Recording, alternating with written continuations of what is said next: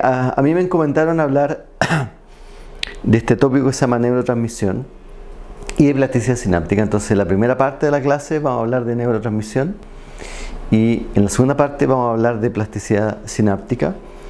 Y pero para hablar de neurotransmisión y plasticidad sináptica siempre es bueno tener una referencia. Entonces, para eso les recomiendo que ustedes vayan y lean eh, este libro. Yo cuando les pase el PDF de esto, lo bueno que tiene es que si ustedes necesitan, todos los libros que salen mencionados aquí, viene el enlace a la copia del libro. Entonces, ustedes hacen clic ahí nomás y pueden bajar, el PDF o lo que sea, el formato de este, de algún sitio de dudosa reputación, ¿ya? Eh, si es que no tienen el libro físico, ¿ya? Entonces aquí recomiendo este libro que es como el libro madre de de la neurociencia para el nivel de usted, que es el Candel, ¿ya? en la parte de capítulos 8 al 13, y de ahí uno se salta que es neurotransmisión, y de ahí uno se salta al capítulo 67, que ya es aprendizaje y memoria. ¿ya? Dicho eso, el outline de la clase de hoy, o lo que vamos a ver, es, vamos a ver una breve historia de la sinapsis, para ubicarnos en el contexto en que estamos, de, de cómo vemos la sinapsis, qué es lo que pensamos de ella, de las propiedades, vamos a hablar un poquito de sinapsis eléctrica y un poquito más largo de sinapsis químicas que nos vamos a preocupar más. Neurotransmisores y por último modelos de plasticidad sináptica. La foto de fondo es una de las fotos más recientes con técnica de fluorescencia de hipocampo, que es la estructura cerebral que nosotros trabajamos en el laboratorio aquí al lado. ¿Ya? Entonces para conocer un poco de historia, si a ustedes les gusta la historia, a mí me gusta mucho la historia, yo leo mucho de historia, eh, yo les recomiendo este libro, que también lo pueden bajar desde el link, que el primer tercio de esta clase está basado en, este libro. Y en este libro eh, se hace la pregunta básica, es que ¿dónde viene el concepto de neurona? Antes ni siquiera de hablar de sinapsis, eh, nos vamos a hacer algunas nos vamos a saltar varias etapas de la historia porque esta es una historia muy larga hacia atrás, pero vamos a hablar de donde es más o menos relevante de lo que conocemos hoy por hoy sobre lo que son las neuronas y en particular me interesa el tema de la sinapsis el día de hoy. Entonces para eso nos vamos a pegar un salto, vamos a dejar eh, atrás los experimentos de Volta eh, y, varias cosas atrás y nos vamos a ir al señor, a hablar del señor Purkinje. ¿Por qué? Porque el señor Purkinje es de los primeros anatomistas que desarrolla una técnica para apreciar la estructura de las neuronas. Pero la técnica de las tensiones de Purkinje no era muy buena porque, por ejemplo, esto es un dibujo original de Purkinje que eh, teniendo eh, células del cerebelo, ¿ya? que posteriormente fueron nombradas en, digamos, en honor a él como células de Purkinje, y que su técnica permitía eh, visualizar principalmente el soma. Entonces se perdían muchos detalles, como por ejemplo esto es una fotografía moderna de una célula de Purkinje, para que comparen que esa es la, zona que logró representar el señor Purkinje, que es la parte de ella. Y, y, esto es lo que conocemos hoy por hoy con mayor detalle, con otro tipo de técnicas que tenemos disponibles.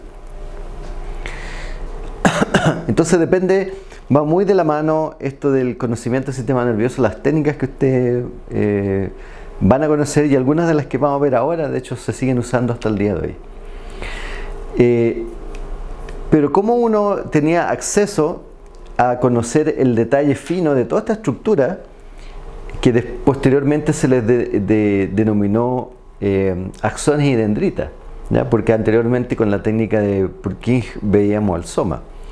Pues resulta que los primeros anatomistas eh, hicieron una cosa que para ahora sería impensable, sería una locura hacer.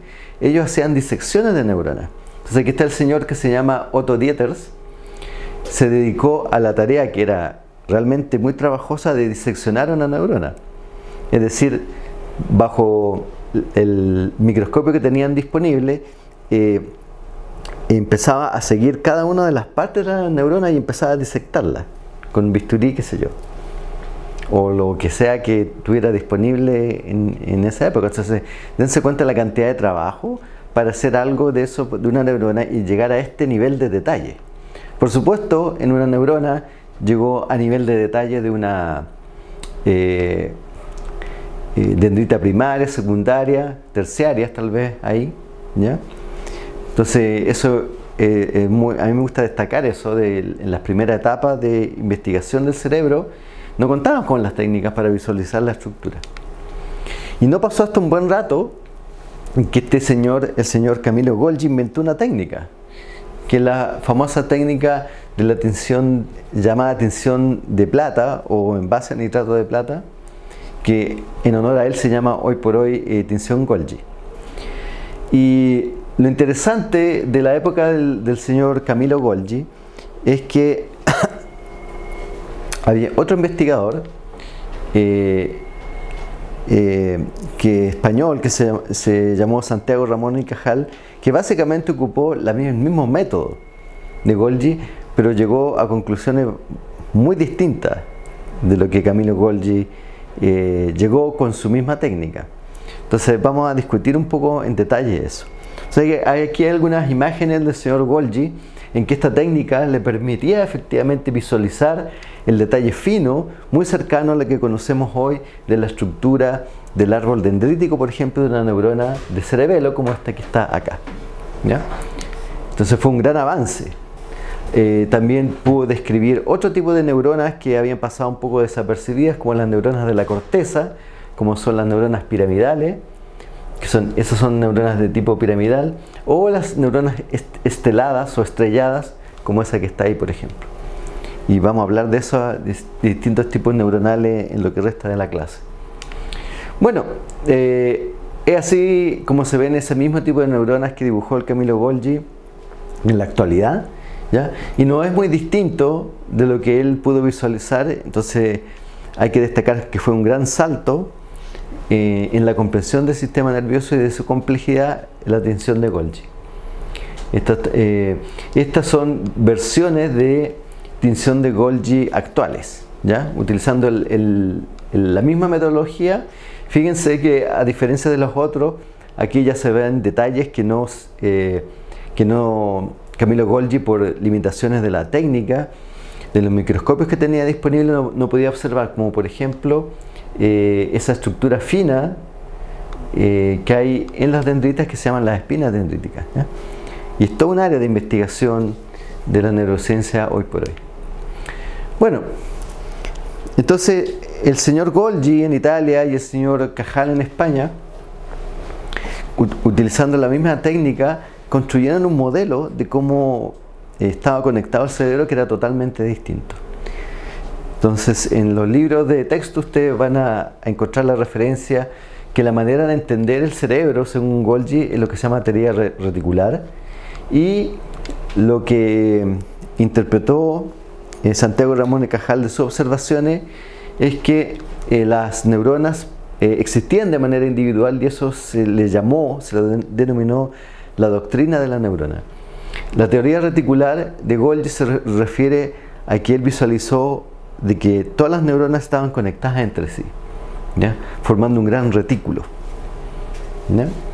Pero ¿cómo es que dos personas con la misma técnica pudieron llegar a, a conclusiones diametralmente opuestas? Es como curioso. Entonces, este es un hipocampo, un dibujo clásico de Golgi. Ahora, si, uno pone atención eh, y amplía esta imagen y empieza a poner atención en los detalles, se, se va a dar cuenta de que todas las neuronas parecen estar conectadas entre sí. Si uno tomamos una lupa aquí o agrandamos esto suficiente, pareciera que como que está todo conectado entre sí. En cambio, si, vemos el mismo dibujo hecho por Camilo Golgi, nos, vamos a dar cuenta de varias cosas. Uno, las neuronas efectivamente parecen como individuales eh, en la una de las otras, pero además el señor Golgi, y esto todavía no sabemos cómo lo hizo, se imaginó, porque esto viene de su imaginación pura, de que había un cierto sentido de flujo de información que en esa época no existía el concepto de información, sino que tal vez llamémoslo perturbaciones, qué sé yo. Se conocía que eh, habían, había una cierta eh, electricidad asociada al sistema nervioso, pero no se conocían los detalles, mucho menos se conocían que existían proteínas responsables de eso. Pero él se imaginó que eh, sea lo que esté pasando aquí, tenía un sentido. Y de hecho yo encuentro notable que en este dibujo haya puesto esos que son flechas, no son observaciones, sino que son flechas de cómo él se imaginaba que las cosas se conectaban de manera unidireccional. Y e, eso es muy extraño. Eh, todavía no he leído por ahí una buena explicación de cómo él llegó y se le ocurrió. Simplemente yo pienso que se le ocurrió nada más. Fue un golpe creativo y lo, para suerte de nosotros, eh, eso estaba, mm, estaba correcto, digamos, esta, esa hipótesis respecto a cómo funcionaba el cerebro. Eh, entonces, los dibujos originales están disponible libremente en internet de Camilo Gol, o sea, perdón, de Santiago Ramón y Cajal. Y ese, bueno, ese es su laboratorio, al igual que Camilo Golgi. Y estos dos señores cuentan la leyenda que no se podían ver, como que se odiaban. Eh, cuenta la leyenda, yo por ahí alguna vez leí un libro del hijo de Santiago Ramón y Cajal, que en las primeras eh, eh, los primeros congresos de anatomía, imagínense un congreso de anatomía en esa época, era gente que llevaba sus preparaciones y llevaba como su microscopio, entonces como que la sesión de poste tenía que ver con ir a buscar, oye, ven a ver mi, a ver mi muestra aquí, entonces decía el hijo de Santiago Ramón y Cajal que le costaba mucho eh, eh, atraer gente a ver sus preparaciones porque todos hacían cola para ver el trabajo del gran Camilo Golgi, el cual eh, digamos, tenía un gran prestigio y él, eh, digamos, eh, desdeñaba el trabajo de Santiago Ramón y Cajal. Total, él viene de ahí, de España, de, ese lugar, no, no tiene la alcurnia mía de Italia, qué sé yo. Bueno, pero el, a ellos se le dio el premio Nobel y yo, yo me imagino, no, no, sé el detalle, pero me imagino que Camilo Golgi estaba un poco molesto de compartir la mitad del premio Nobel con Santiago Ramón y Cajal. Entonces, basado en esta metodología, el eh, Santiago Ramón y Cajal empezó a dar una, imagen más detallada acerca de lo que conocemos del, cerebro y él empezó a, postular en realidad en base a su trabajo de que las neuronas eran entidades individuales no conectadas entre sí. ¿ya? Em, y una de las primeras personas en darle crédito a esto, y que fue la persona que acuñó el término sinapsis, fue un fisiólogo, un fisiólogo que se llama Sir Charles Charrington, que eh, él inventó el término eh, sinapsis y recibió mucha inspiración del trabajo de Santiago Ramón y Cajal. ¿ya? Eh, tanto así que, por ejemplo, este discípulo de del señor Sherrington, que se llama John Fulton, también otro gran fisiólogo. Él se le ocurrió preguntar bastante cuando ya el, el, em, señor Sherrington estaba muy viejito.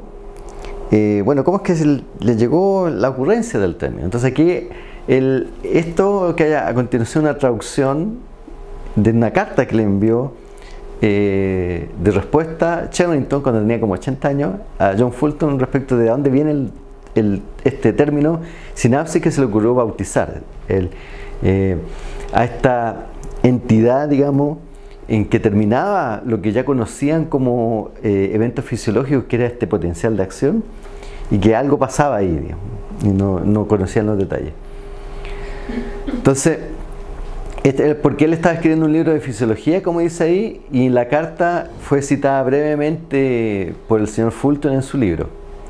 O sea, a, continuación, la siguiente diapo viene, y aquí viene la cita del paper donde viene esto. Vamos a leer lo que le respondió el señor Sherrington. Dice: Usted pregunta acerca de la introducción del término sinapsis. Eso sucedió, eso así sucedió. M. Foster un colaborador, me había pedido que continuara con la, parte del sistema nervioso de un eh, en esa época no publicaban muchos papers, se publicaban libros de fisiología, ya. Eh, Entonces lo había empezado y no había llegado muy lejos antes de sentir la necesidad de algún nombre para llamar a esta unión entre células nerviosas y otras células nerviosas. No, tenía un nombre con el cual referirse a la sinapsis. Eh, particularmente porque él llamó este lugar de empalme, de unión, ahora aparentemente en, la fisiología de esa época empezó a cobrar eh, importancia. Recuerden que era fisiólogo, no anatomista, entonces era la época en que estaban empezando a estudiar el funcionamiento de la juntura neuromuscular, una de las primeras sinapsis descritas. Bueno, le escribí, eh, le escribí, sobre mi dificultad y mi deseo de introducir un nombre específico. Yo sugerí usar el término sindesm o sindesismo, no sé cómo se dirá en español. Bueno, la otra persona consultó a su amigo eh, eh, Trinity Verral, que era un experto en, lenguas griegas, ¿ya? acerca de la, sugerencia del Sir Cherrington. Pero este Verral sugirió el término sinapsis eh, por motivos lingüísticos, porque según él se produce una mejor forma de adjetival. ¿ya? Y al final usaron esa forma porque se prestaba para mejor uso en el lenguaje el término sinapsis. Eh, entonces, para Cherrington el concepto fundamental eh, de, tener un término específico eh, era que la conducción en esa época se conocía acerca del impulso nervioso, no podría ser responsable simplemente de ser el impulso nervioso y traspasarse a la otra neurona tenía que haber algún otro proceso. Entonces era necesario un término para poder diferenciar ese proceso que ya los fisiólogos conocían, que era el potencial de acción, de cualquier otro proceso que había a posteriori. Y, tenía que haber otros procesos porque ellos ya tenían otro tipo de evidencia. Entonces, la carta la pueden leer después. Pero ¿qué, cosas ellos ya tenían eh, como evidencia desde la fisiología? de que había algo distinto ahí. Uno, que primero que nada, que ellos habían percatado en su experimento de fisiología, eh, trabajando con reflejo espinal, de que esta perturbación llamada potencial de acción era unidireccional. Entonces, primero que nada, eso eh, eh, Santiago Ramón y Cajal, sin saberlo, digamos, había él determinado que estos tipos de perturbaciones que pasaban de una neurona a otra eran unidireccionales. Y otra cosa tendría que haber algún tipo de proceso que ocurriera en ese lugar específico, pero eso necesitaba un nombre, que eh, era distinto del otro. ¿Por qué? Porque ellos habían medido que había una especie de retraso entre lo que pasaba en el presináptico, lo que pasaba en la sinapsis y después lo que pasaba en el postsináptico. Entonces tendría que haber algún tipo de proceso distinto que era, no era simplemente la conducción a través de un cable, que sería como la explicación de un potencial de acción pasivo, eh, sino que había algo más ahí. Entonces por eso es que el señor Charrington vio en la necesidad de que eh, había que darle un nombre particular a eso que no conocían los detalles, pero que en su experimento fisiológico habían visto que tenía propiedades distintas de lo que ya habían estudiado y también en los dibujos de Cajal, Cajal lo había eh, dibujado como que en las neuronas había algo que las separaba y ese algo le denominó sinapsis. Eh, más o menos por la misma época, eh, no, un poquito antes, ya el señor Otto Levi tenía eh, había diseñado un experimento en que había probado de que habían ciertas sustancias de naturaleza química que eh, algo tenían que ver con la, eh, con la transmisión de estas perturbaciones eléctricas en, en, un elemento posterior que hoy lo llamamos postsináptico. Entonces él hizo un experimento que más o menos conocido, que este es como un esquema del experimento que eh, lo lo que, lo que sabían que si estimulaban el nervio vago podían modular la frecuencia de latido de un corazón aislado. Y él lo que hizo fue perfundir una solución de Ringer y el perfusado que había pasado eso iba a otro, tipo, a otro corazón que era independiente, estaba en otra cámara distinta de eso. Entonces lo que el señor Otto Levy descubrió que eh, había algo, él no sabía, una sustancia que eh, se pasaba, se secretaba en este, en este corazón y pasaba a través del líquido y perturbaba el comportamiento eléctrico del otro corazón. Entonces ahí en el, famoso experimento de Otto Lewis se, se vio de que eh, las perturbaciones eléctricas en un lado generaban algún tipo de sustancia que él lo llamó el Bagustov Otto Lewis, no sé si era alemán o algo así, ¿ya? Y que conocemos hoy por hoy como acetilcolina, ¿ya? Entonces él, pensó de que había una, la producción de una sustancia que alteraba las propiedades eléctricas, en este caso de un músculo, ¿ya? Bueno, pasó mucho tiempo después hasta que eh, contamos con, con eh, técnicas más avanzadas, que es la microscopía electrónica, por ejemplo, y nos permitió distinguir de que en esa sinapsis eh, habían ciertos elementos más, más detallados, como por ejemplo vesícula, que almacenaban sustancias que después fueron denominadas neurotransmisores.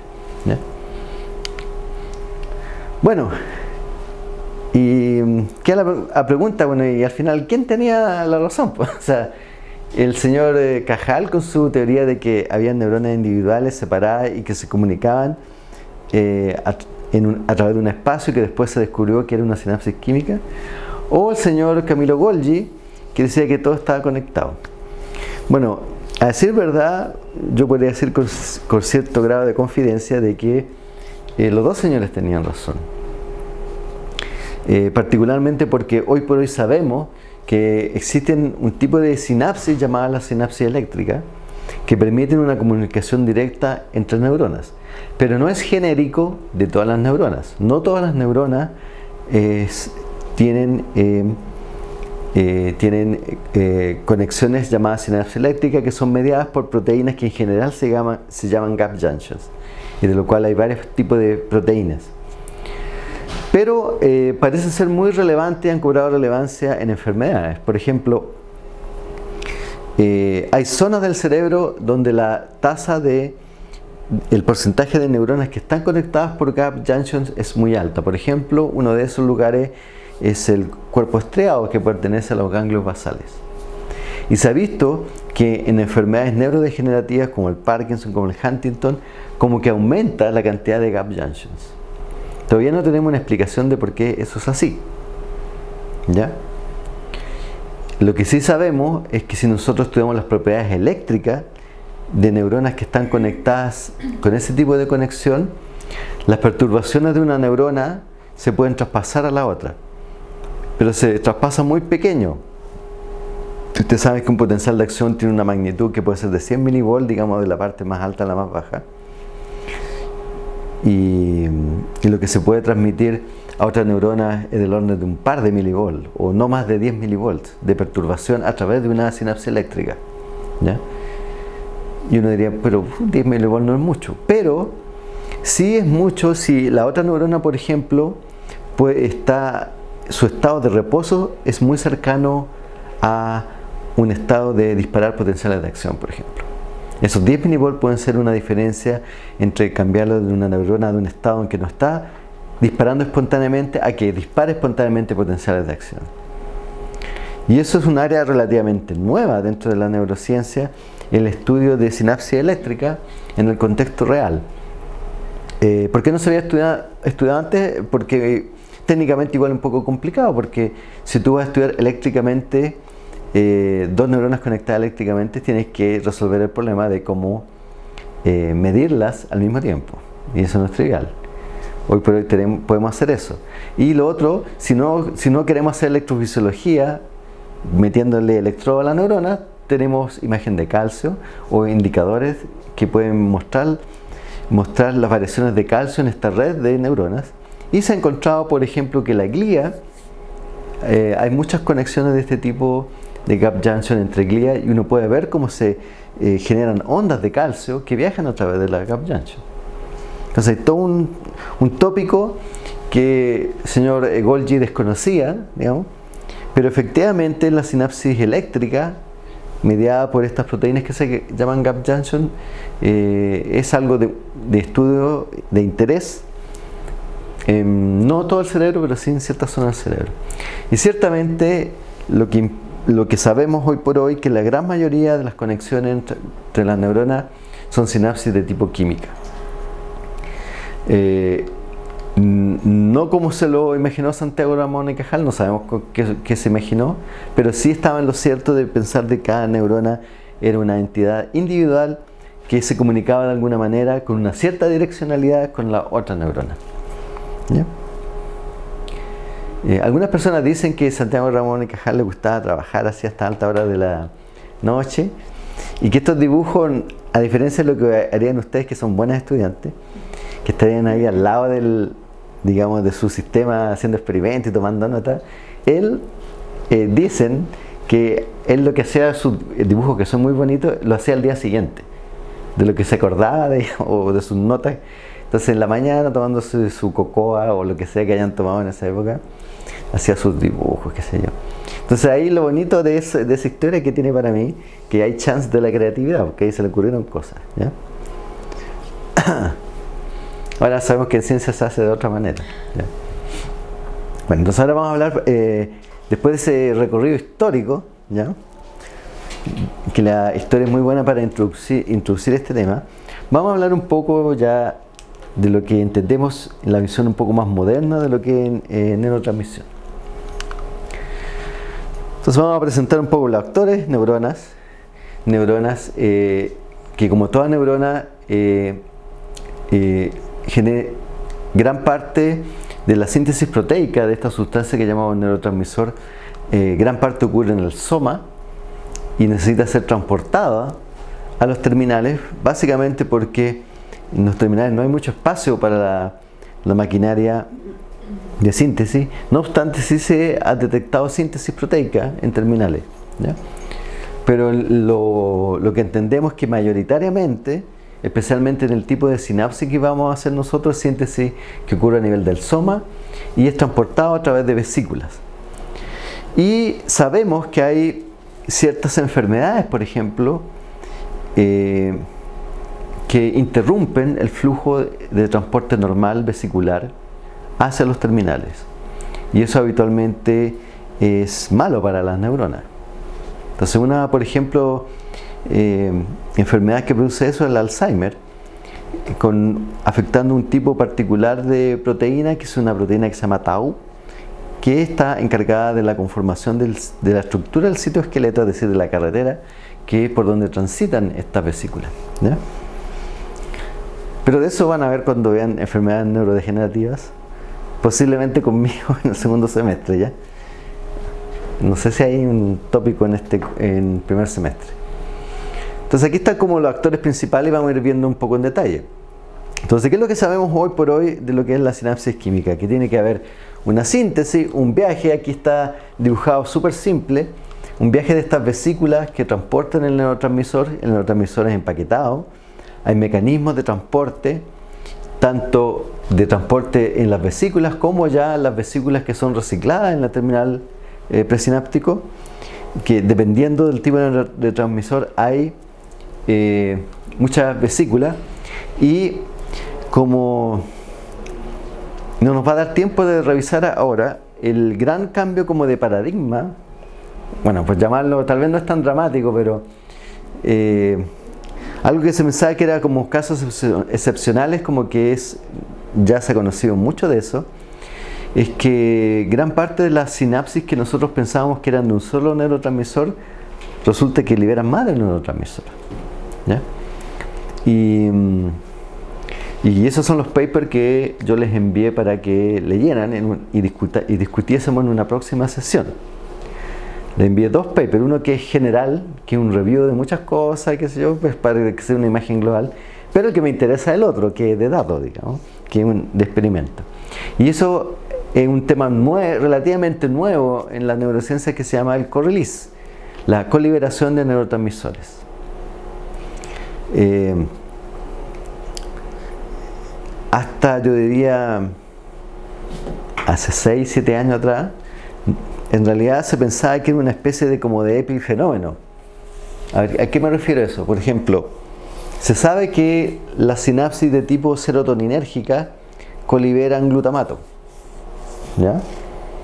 Pequeñas cantidades de glutamato. Entonces la hipótesis que se manejaban hace unos años que en realidad eso era una especie como de accidente y que no tenía ningún rol funcional.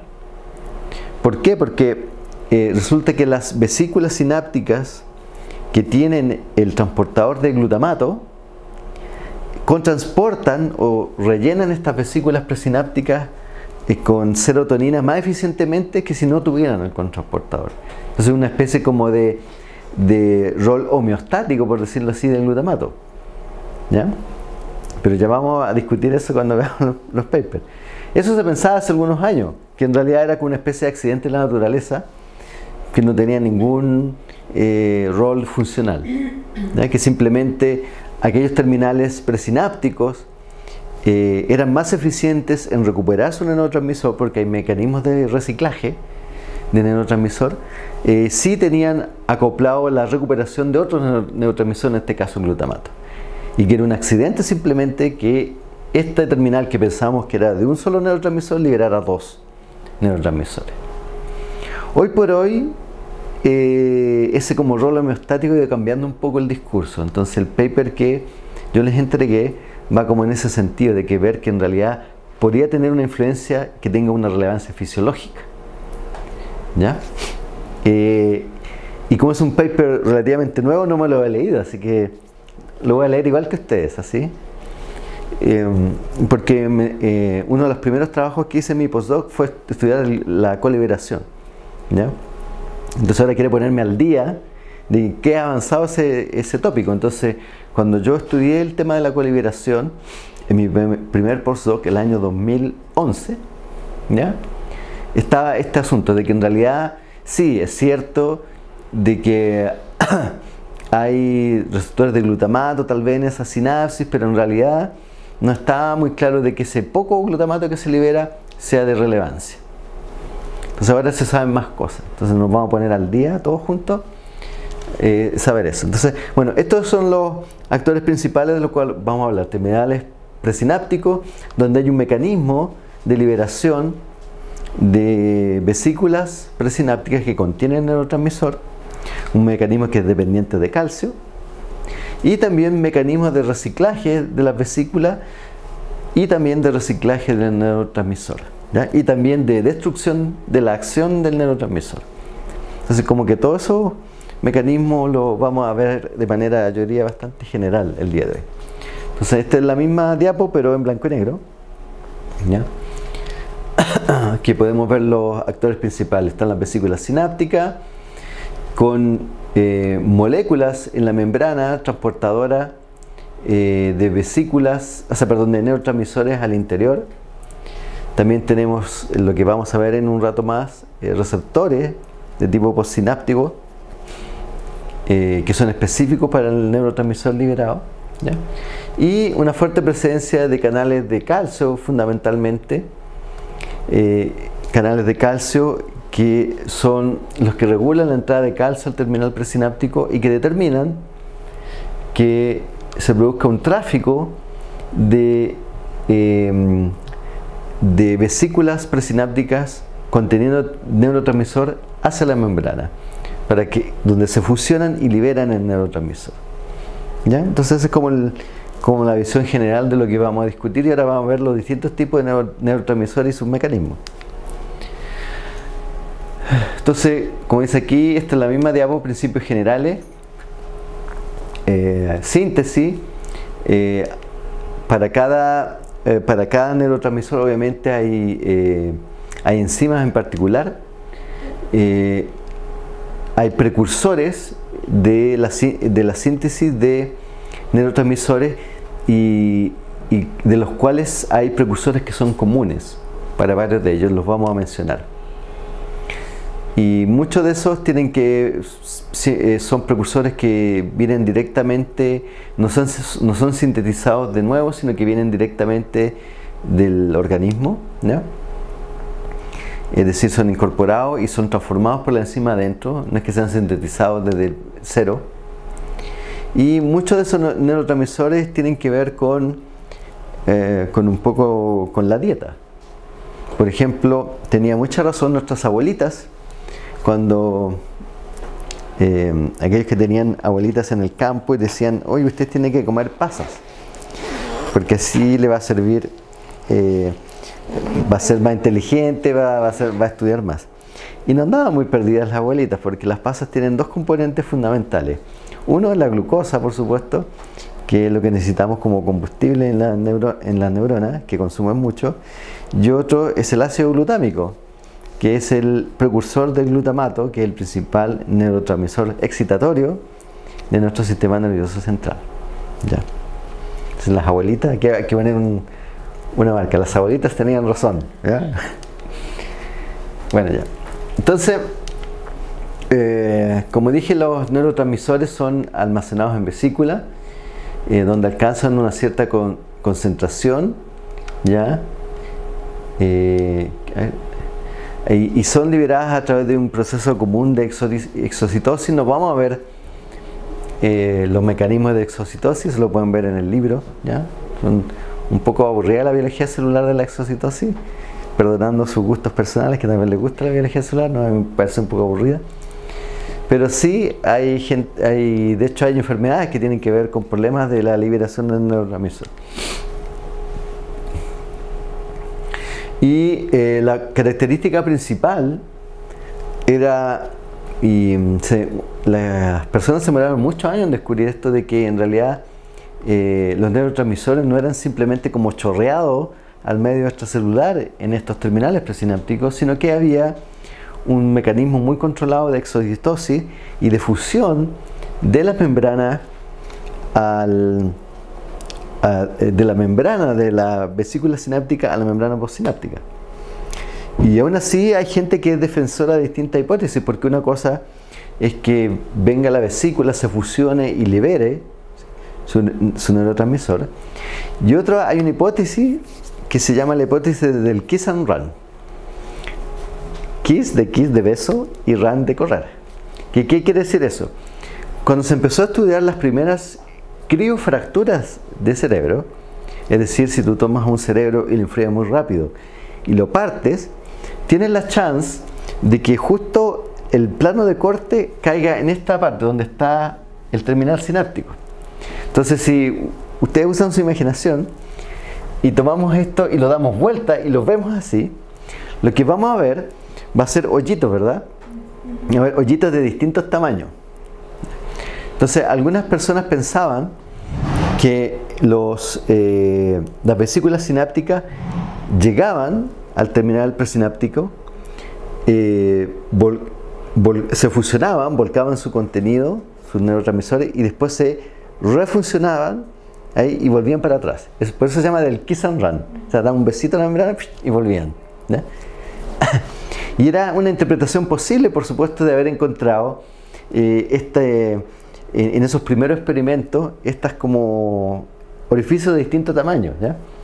Era como eh, se había congelado justo cuando estaba la vesícula dándole como un beso, así al. Eh, por eso se llama kiss and run. Entonces era una interpretación posible de esos primeros experimentos. Después se descubrió que en realidad había un reciclaje de los componentes del, de la vesícula eh, y que después eh, eran reconstruidas las vesículas con nuevos eh, con vacías y que eran después llenadas con neurotransmisor. Entonces, por ejemplo, este dibujo, este dibujo es una caricatura de lo que hay acá arriba, ¿se fijan? Entonces, eso, eso eh, aquí uno no ve las proteínas que conforman todo el mecanismo de transporte de exocitosis. Lo único que uno ve aquí es membrana, que de repente está en esta forma, esta conformación. Entonces uno podría pensar que la vesícula va, le da un besito, digamos, libera y después se, se vuelve hacia atrás, por ejemplo.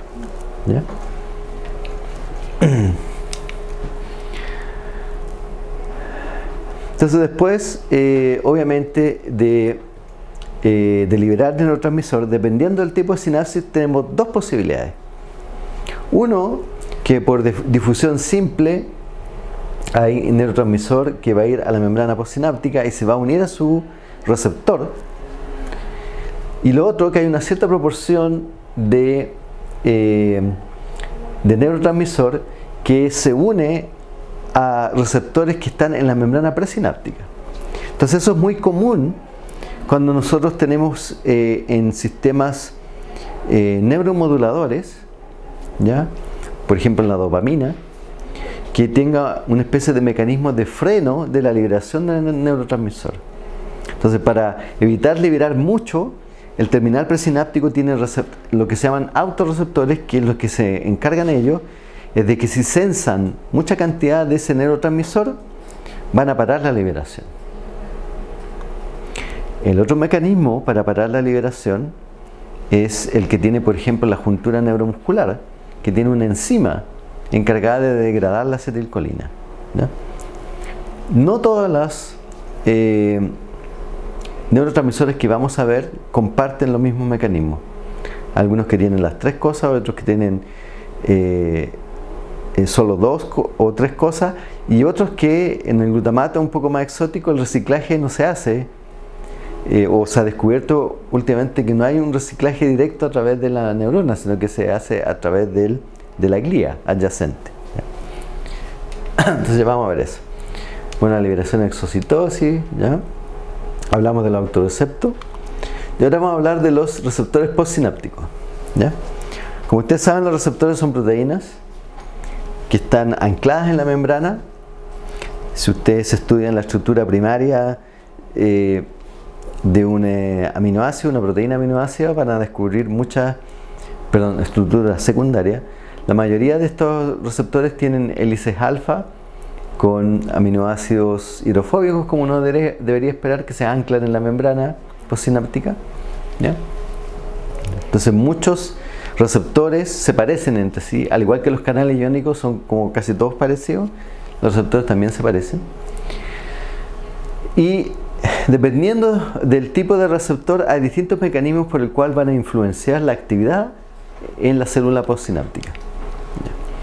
Entonces, en línea sumamente general, así haciendo una tremenda simplificación, uno podría decir de que hay dos tipos de receptores. Uno eh, tipo de receptores eh, que dejan eh, que una vez que el neurotransmisor se une a un sitio de unión, ¿ya? hacen que el receptor que está en estado de reposo, por llamarlo así, cerrado, hacen que se abra y deja pasar un ion. Y habitualmente eso es, un receptor que es específico o es específico para una familia de iones. Entonces, por ejemplo, hay, hay canales, receptores que son canales catiónicos no específicos, es decir, que dejan pasar eh, carga positiva. ¿ya? De receptores. Entonces, este es el del tipo ionotrópico. Hay otros que son del tipo metrabotópico, de los cuales la gran mayoría está lo que nosotros solimos denominar acoplados a proteína G.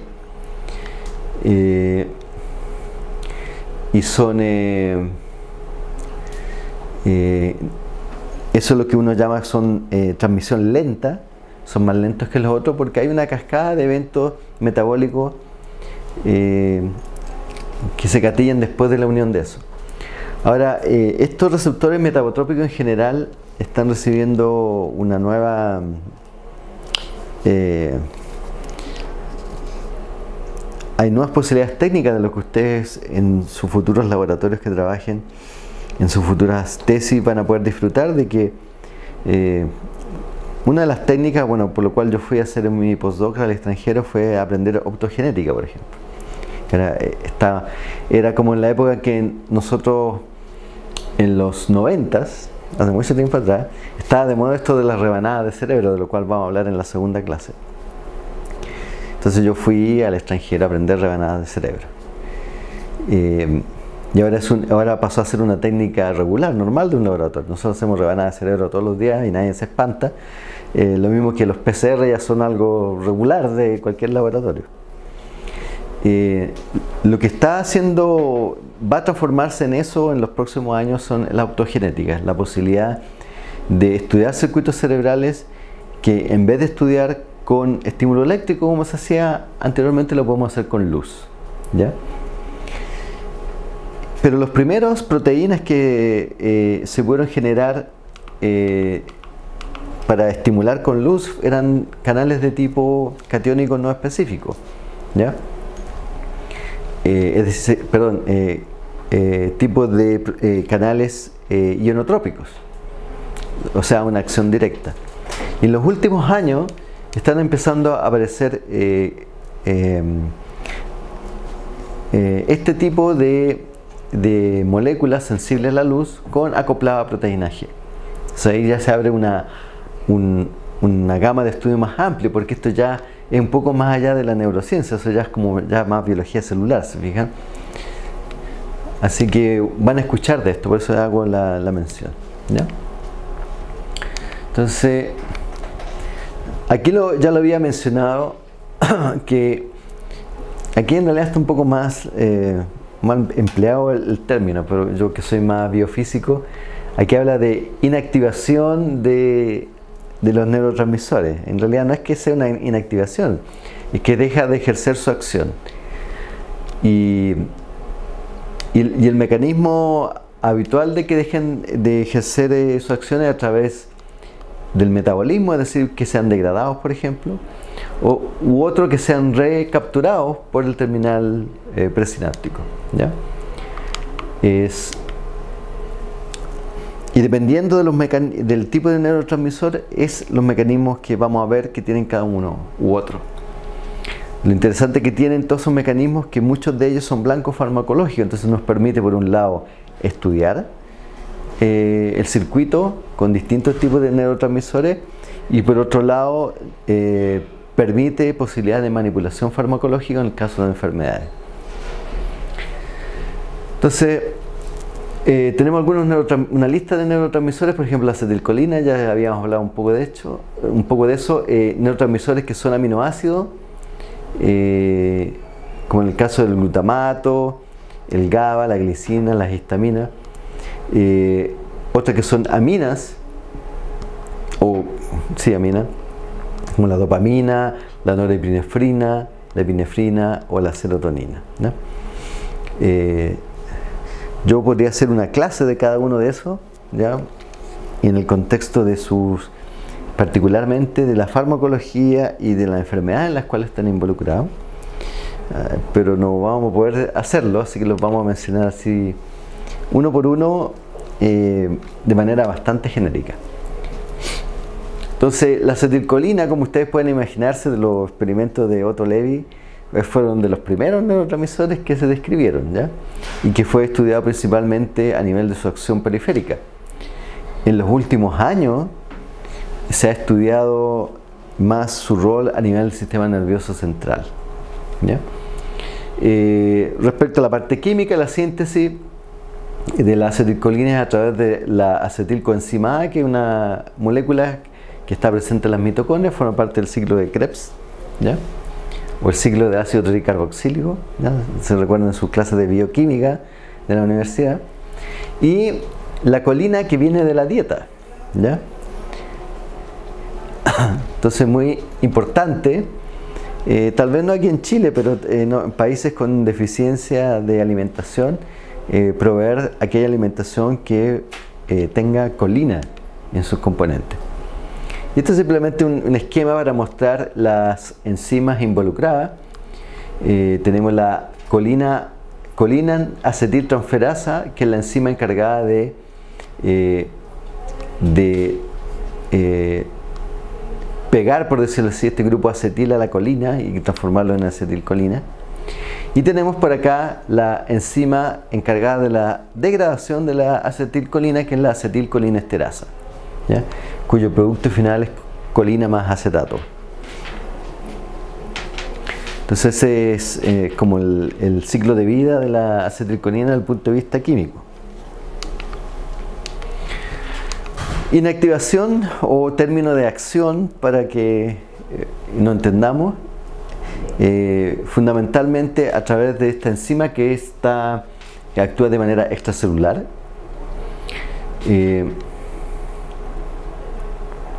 Eh, y después de que esta eh, enzima actúa extracelular, son los productos de la degradación de esta enzima, de la, perdón, de la acetilcolina, es decir, la colina y el acetato, son recapturadas o reingresadas por la neurona para sintetizar más acetilcolina.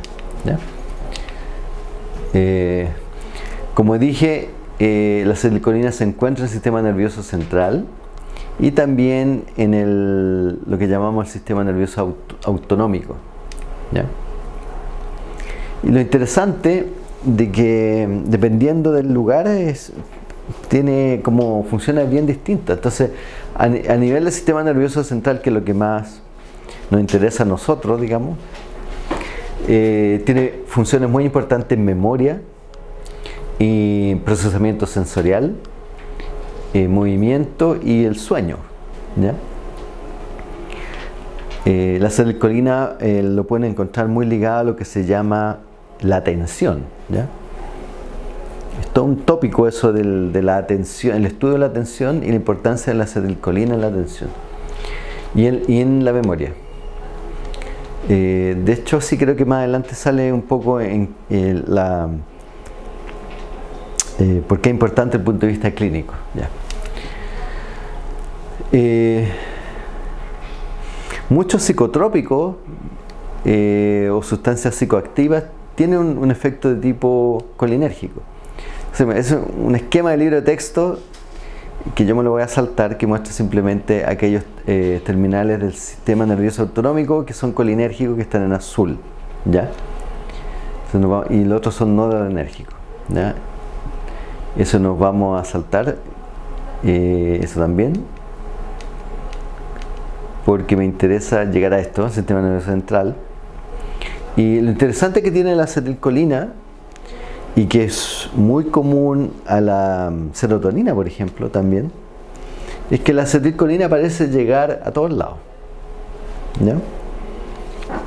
Entonces, contrariamente a lo que uno podría pensar, y aquí tenemos que empezar a pensar un poco como en redes, no es el hecho de que existan o no terminales eh, colinérgicos en cierta zona del cerebro lo que va a determinar la especificidad de acción de la acetilcolina, sino que son obviamente la familia de receptores de acetilcolina en particular que existen en esa zona del cerebro.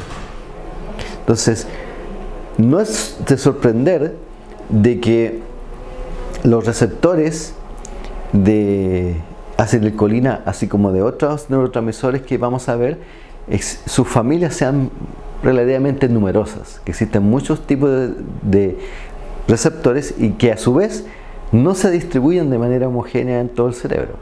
En algunas zonas del cerebro, cerebro sabemos por qué es así, en otras zonas del cerebro, eh, por suerte para ustedes, no se sabe por qué es así. Entonces hay mucho campo de estudiar por qué en esta zona del cerebro está tal o cual subtipo de receptor de acetilcolina y por qué está ahí. Es un, campo de estudio muy potente en neurociencia. Entonces, ¿qué tipo de receptores? Tenemos la familia eh, en general existen dos familias, una es la nicotínica, que está principalmente eh, en el músculo y también en neuronal. Y como dice acá, tiene al menos 17 subtipos. ¿ya? Habitualmente como se forman los tipos de subreceptores no es que sean distintos, sino que estos receptores son, eh, tienen varias subunidades. Y se forman combinaciones de esas subunidades. ¿Ya? Entonces las distintas combinaciones te dan los 17 subtipos. Bueno, algunos dicen que son musculares, otros están en el sistema nervioso central. Y aquí dice, bueno, esta diapo no sé si es muy reciente o no. Dice que hay un número creciente de receptores nicotínicos nuevos que se van descubriendo eh, en distintas zonas. Entonces, eh, están eh, los receptores nicotínicos son clasificados así porque su agonista principal es la nicotina. Y aquí tienen algún tipo de, farmacología de los receptores nicotínicos. Entonces, que hay uno más o menos conocido, ¿ya? no digo que ustedes lo usen, pero sí lo conocen, que se llama el Botox, que es eh, una llamada que es un derivado de la toxina botulínica, ¿ya? Y cuyo efecto, eh, su efecto, eh, digamos, clínico es la parálisis muscular, ¿ya? Entonces, eso aparentemente genera contracción y, de ciertos músculos, musculatura lisa, y permite la eliminación de arrugas, ¿no? Dicen por ahí, ¿ya? Pero de esas cosas ustedes están muy jóvenes para preocuparse de esas cosas, ¿ya? Entonces, el otro tipo de, receptores o familia de receptores de acetilcolina son los receptores de tipo muscarínico, ¿ya? Que se clasifican, son cinco subtipos, se clasifican de la M1 a los M5 y son todos de tipo metabotrópico. ¿ya? Es decir, están acoplados a proteínas G. Y se denominan, se denominan así porque eh, todos presentan afinidad por esa sustancia que se llama la eh, muscarina, esta es su estructura química, presente en ese hongo de tipo alucinógeno que se llama la amanita muscaria. Dicen que Alicia en el País de la Maravilla la persona que lo escribió, eh, Lewis Carroll, creo, o algo así, él es el autor, eh, pudo haber traído su inspiración bastante psicodélica de eso. Y yo creo que de las últimas versiones de Alice en las Países de Maravillas rescatan bastante el tema del color. Eh, de, dicen que pudo haber tenido una inspiración después de haber consumido ese tipo de hongo. El típico hongo de los cuentos de hadas, no es que las hadas no existieran, digamos, sino que fueron un fenómeno que sí existió para los que gente que sí consumía ese tipo de hongos alucinógenos, tuvieron la experiencia de vivenciar las hadas y todo ese tipo de cosas, ¿ya?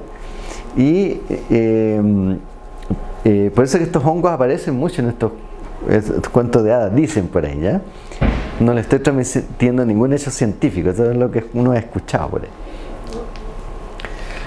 Entonces la muscarina es un tipo de agonista de este tipo de receptores. Eh, entonces, algún tipo de acciones algún tipo de fármacos eh, agonistas o antagonistas de eh, los receptores de muscarínicos de, de, acetilcolina. A ver, ups, ya. Este es más o menos conocido en Chile o está de moda, por decirlo así. Y de, moda, y de moda de mala, de mala manera, porque eso es lo que ustedes habrán escuchado, que, o sea, yo he sabido de gente que le ha pasado, eh, de que le han echado en su trago una cosa que se llama burundanga, ¿ya?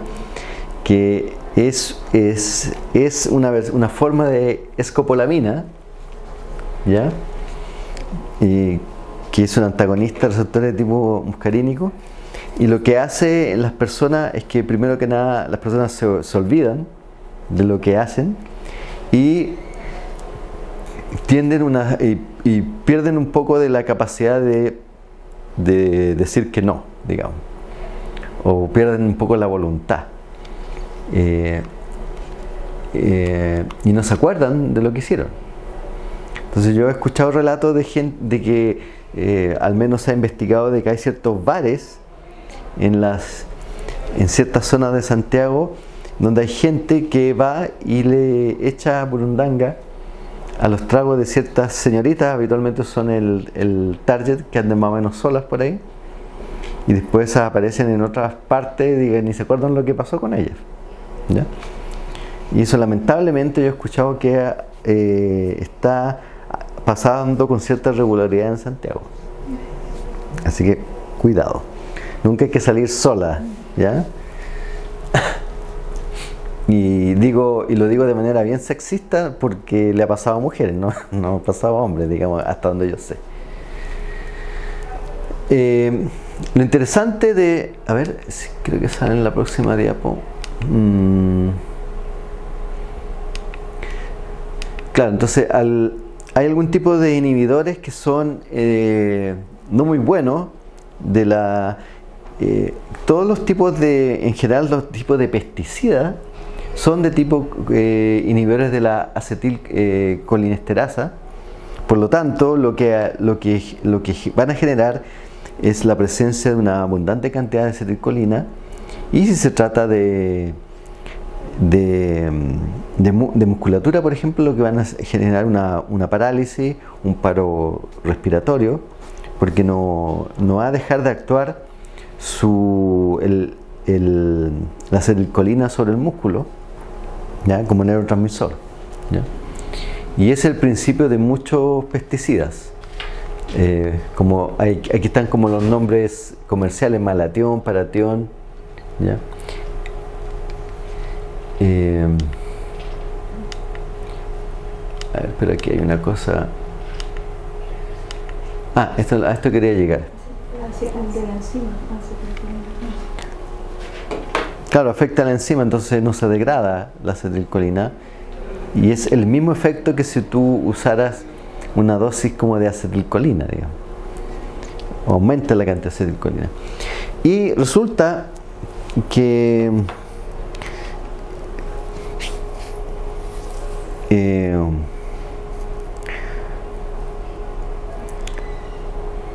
uno de los tratamientos para tratar el, como la acetilcolina, por mecanismos que no vamos a ver en estas clases, eh, la acetilcolina tiene que ver con la tensión y, eh, y actúa un poco como un lo que, se, lo que se llama un cognitive enhancer, o sea, algo que mejora las habilidades cognitivas. Em, eh, por eso la, gente, por ejemplo, mm, la gente que fuma, digamos, relata, la, yo no fumo, así que no sé, relata la experiencia de que a él le gusta estudiar fumándose un puchito porque es como que se concentra más. Un cigarrillo, ¿ya? Yo no sé, yo no fumo, ¿ya? Eh, pero eh, también llama la atención de que aquellas eh, personas con propensión al Alzheimer, que ustedes saben que el factor de riesgo principal del Alzheimer no es eh, tomar agua contaminada, ni nada de eso, es el viejo nomás. Después de los 85 años, como que la prevalencia es casi del 50%, la probabilidad, digamos, que te, que te pueda dar Alzheimer. Eh, pero aquellos que son fumadores, por ejemplo, la prevalencia es mucho menor. Entonces se estima que es por la estimulación de la nicotina del sistema eh, colinérgico. Bueno, esa gente se va a morir de cáncer al pulmón, pero esa es otra historia, digamos. Por lo menos no se va a morir de Alzheimer. ¿ya? Y, es por eso que, por ejemplo, hay algunos, si se aumenta la función colinérgica, eso tiene efectos positivos en eh, disminuir eh, o en retrasar la disminución de las habilidades cognitivas de los enfermos de Alzheimer. Entonces algunas drogas para eh, el tratamiento del Alzheimer son activadores eh, eh, colinérgicos. ¿ya? Y me parece que hay algunos que son inhibidores de la acetilcolinesterasa. Ahora, como ustedes se pueden imaginar, como muchas drogas, eso no es específico que se lo metan acá, donde uno lo necesita, sino que son generalmente son sistémicas. Entonces, como, como, todo eh, tipo de sustancia que tenga efectos colinérgicos, tiene efectos secundarios. Entonces puede, puede, como dice acá, puede ser confusión, visión borrosa, la boca seca, eh, eh, problemas de retención urinaria, problemas de, control de orina, claro. Eh, pero por lo menos sabes lo que estás haciendo. Entonces, es el gran problema que no tenemos drogas específicas para tratar el Alzheimer, sino que drogas que mejoran las habilidades cognitivas, pero como no es específico para ir al lugar en particular donde están afectadas las neuronas, son de tipo sistémico. Entonces van a afectar otras funciones del sistema nervioso. Entonces esa es toda la historia con la mm, acetilcolina. Ah, entonces, bueno, finalmente dice qué tipo de, mm, de alimentos ricos en colina hay, están los huevos, ¿ya? Eso quiere decir que yo tengo mucha acetilcolina porque desayuno huevos casi todos los días, excepto los fines de semana. Hígado, ya, bueno, no como mucho bistec. Eh, ah, la soya, no sabía que tenía mucha colina. Ya. Y aquí hay una lista de agonistas y antagonistas y los distintos eh, tipos de, de, lugares de acción. Entonces, por ejemplo, hay algunos que más o menos conocidos, como el curare, por ejemplo, que el típico, que de las primeras drogas que, eh, que se utilizaron para estudiar la neurotransmisor fue el curare. Eh, la nicotina, ya, la toxina eh, botulínica, el veneno de la de la viuda negra, ¿ya? lo que hace es promover la liberación de acetilcolina, etcétera. Bueno, ahora vamos a ir a otro tipo de neurotransmisor, que son las catecolaminas. Y esto ya es, bueno, para mí es mucho más interesante, porque son áreas de estudio muy relativamente recientes de mucha importancia. Eh, a propósito de Alzheimer, y bueno, y toda esta enfermedad neurodegenerativa, Supongo que ustedes saben, aprovechando la presencia aquí internacional, ¿cuál es el país latinoamericano que tiene la mayor prevalencia de Alzheimer? ¿No saben cuál es? No. Es Chile. Eh, de hecho, hay unos... ¿De América Latina o...? De América Latina. Ah, ya. Eh, los demás no nos interesa, digamos. y Brasil cae dentro de América Latina. no porque hablen esa portuguesa es distinto. Y eso principalmente porque, como dije hace un rato, el factor de riesgo principal es la edad. Y Chile en este minuto tiene la esperanza de vida eh, más alta de Latinoamérica. ¿ya? Pero, pero no deja ser interesante eh, algunos datos. Eh, hay uno,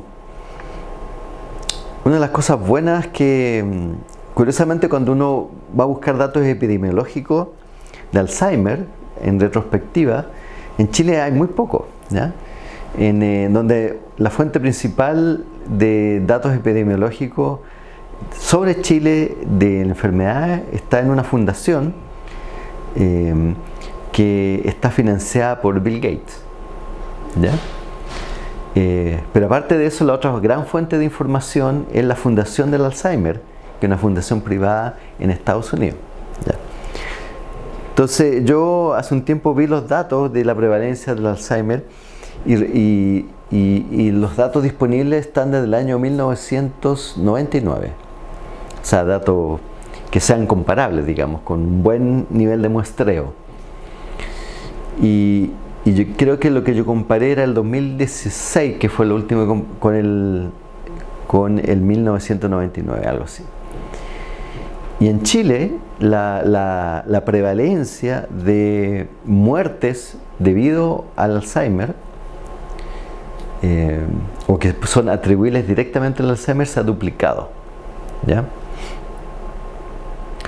En cambio, países como México, por ejemplo, que también ha subido su expectativa de vida, no se ha duplicado, sino que se ha mantenido o sea, aumentaron un 30%, pero no en el 100%. Y eso es curioso. Brasil es más o menos parecido a México. ¿Ya?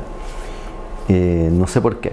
¿Y la población como es en, en, México, en Brasil, tal vez no haya tanto diferencia entre jóvenes y, y eh, viejos? No, o sea, eh, ciertamente eh, Chile tiene el promedio de edad eh, más alto y tiene la menor, y, pero eso, eso no es porque tengamos pocos jóvenes, sino porque el promedio general de la población es más vieja. ¿ya? Porque tú puedes tener varias maneras de tener población vieja, o sea, tener muy pocos jóvenes y más viejos, o que el promedio general sean mayores viejos que jóvenes. En cambio, eh, países como Brasil, como México, son los dos grandes países de Latinoamérica, eh, es, menos, es, es menos homogénea la población, ¿te fijas? Uno tiende a pensar, en Chile, como una población más chica, tiende a ser más homogénea. Cambio, tanto en, en México como en Brasil hay mucha población indígena, hay mucha segmentación socioeconómica debido a su condición indígena, que es un poco distinta acá. Uno puede decir, claro, los mapuches en el sur, pero es una minoría comparado en proporción al resto de la población eh, eh, con respecto a esos otros países. Entonces es difícil comparar, pero lo interesante es que si ustedes me preguntan en qué temas hay que meterse ahora, ciertamente en, en en temas que tengan que ver con, eh, con prevalencia de, eh, como temas de estudio, temas de enfermedad neurodegenerativa y todo lo que tengan que ver con la edad avanzada. De hecho, ahora hay como una nueva onda, o sea, nueva onda de, no de ver el de estudiar la vejez como un todo, y no simplemente de casa, oh, la enfermedad, entonces hay que estudiar esa enfermedad fuera del contexto de lo que significa ser eh, una población envejecida, no. Entonces que eh, hay que hacer un tratamiento más eh, sistémico, ¿ya? Y, eso también nos tiene que permear un poco en la ciencia, por ejemplo, en nuestro laboratorio, y eso no lo quiero decir que nosotros seamos particularmente segregadores o sexistas, hacíamos lo que hacían otros laboratorios antes, que era procesar solamente los ratones machos. ¿Por qué? Porque está el sesgo de género, ¿te fijas? Y no la cosa que uno debería hacer, que es que procesar machos y hembras por igual y después hacer la estadística, a ver si hay una diferencia o no, que sería como lo lógico. ¿ya? Entonces antes se hacía así, ahora no lo hacemos así hacemos lo que corresponde hacer. De la misma manera, eh, hay más estudios de las cosas que nosotros estudiamos con eh, ratones más viejos. Porque no es lo mismo estudiar eh, lo que vamos a conversar en la otra parte de la clase, plasticidad sináptica en ratones jóvenes, es decir, de un par de meses de edad, comparado con los ratones que, por ejemplo, están haciendo hoy día, que tienen 8 meses de edad que ya son ratones seniles. No es lo mismo. Entonces, eso es interesante. Ustedes si alguna vez trabajan con animales son como ondas un poco nuevas en el estudio del sistema nervioso. Tenemos que fijarnos en, eh, en el sexo, no tener sesgo de género, es curioso, pero antes uno hacía las cosas porque en el paper decía que es puro ratones machos nomás, ¿te fijas? pero es que había un sesgo de género detrás y que no es que uno haya sido malo o sexista, simplemente así lo hacía todo el mundo, pero hoy por hoy ya no lo hacemos así porque, oye, eh, lo más probable en nuestro caso es que no haya diferencia, pero tú tienes que demostrarlo, que no hay diferencia. Y si hay diferencia, muy interesante, descubrir un nuevo fenómeno. ¿ya? Y lo mismo pasa con el tema de la edad. Ahora es como cada vez más común estudiar la edad eh, y fijarse que lo que uno descubrió en un ratón juvenil tal vez no es el mecanismo que se preserva a lo largo de toda la vida y que más adelante esos mecanismos pueden variar. Y eso es muy interesante. Y eso es algo de moda en lo que se llama eh, el, el campo de la plasticidad sináptica, de lo que vamos a conversar después. Dopamina. Ah, bueno, entonces esto de la dopamina es que le iba a hablar del Parkinson, pero ya no le hablé. le voy a hablar después.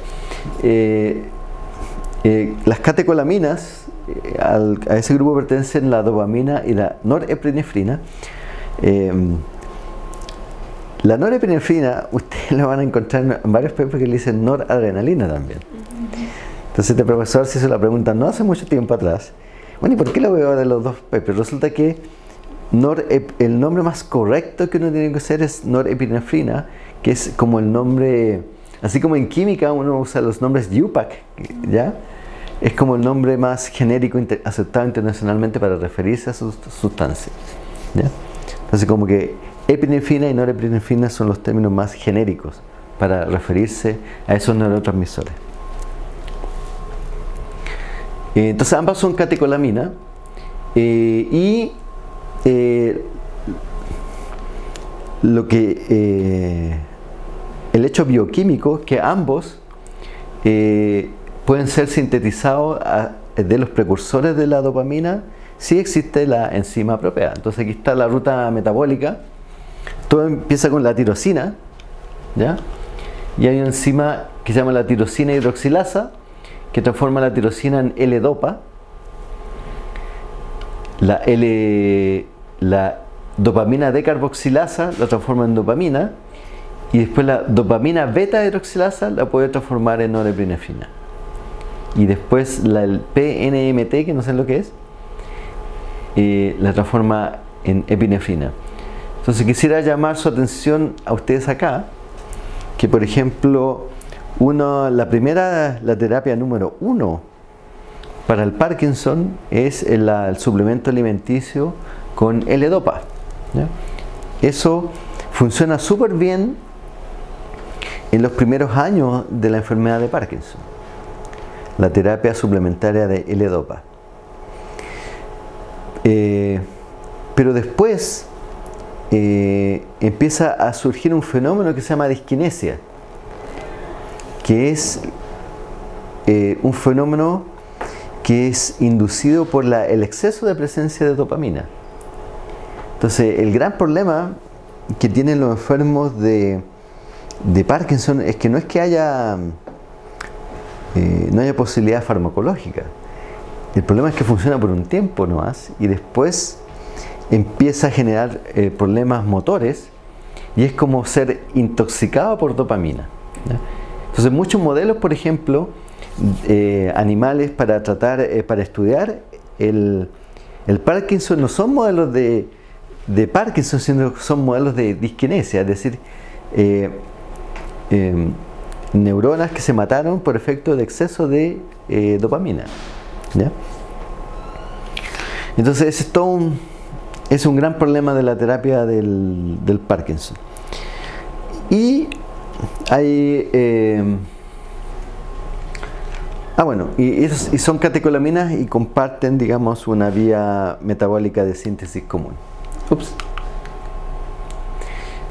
Y, estas principalmente su mecanismo de regulación a nivel del terminal eh, presináptico es que existen transportadores.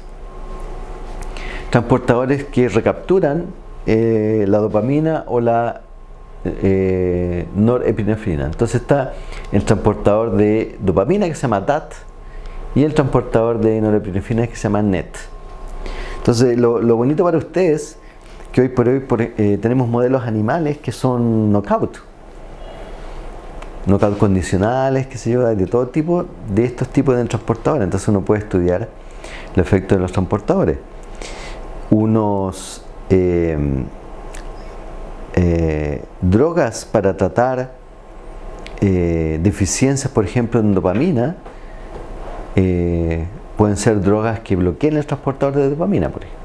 Si tú tienes poca producción de dopamina, una manera de lograr aumentar los niveles de dopamina extracelular, que es lo que a ti te interesa, es o uno, poniendo algo que libere dopamina o algo que bloquee su recaptura. ¿Ya? Entonces, al tener estas catecolaminas, eh, eh, ¿cómo se llama? Al tener estas, eh, catecolaminas transportadores específicos, da la posibilidad de manipulación farmacológica y también eh, algunos especulan que eh, hay problemas en estos transportadores en ciertas enfermedades.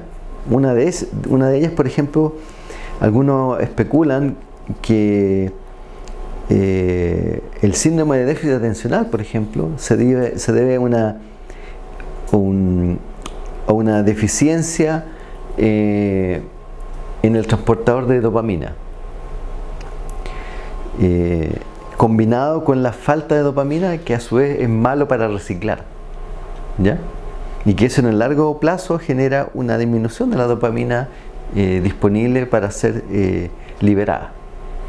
Esa es alguna de las hipótesis que existe hoy por hoy de por qué se produce el síndrome de déficit atencional, no es la única.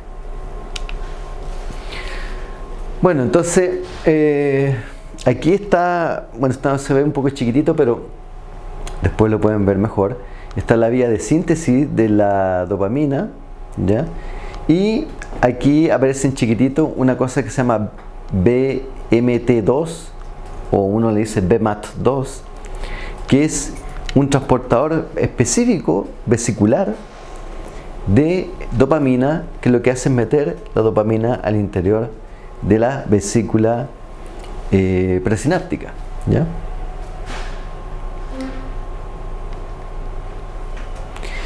Y como ustedes se pueden imaginar, hay toda una familia de transportadores vesiculares eh, asociados a cada uno de estos neurotransmisores. A ver, síntesis, bueno, ya lo vimos la síntesis.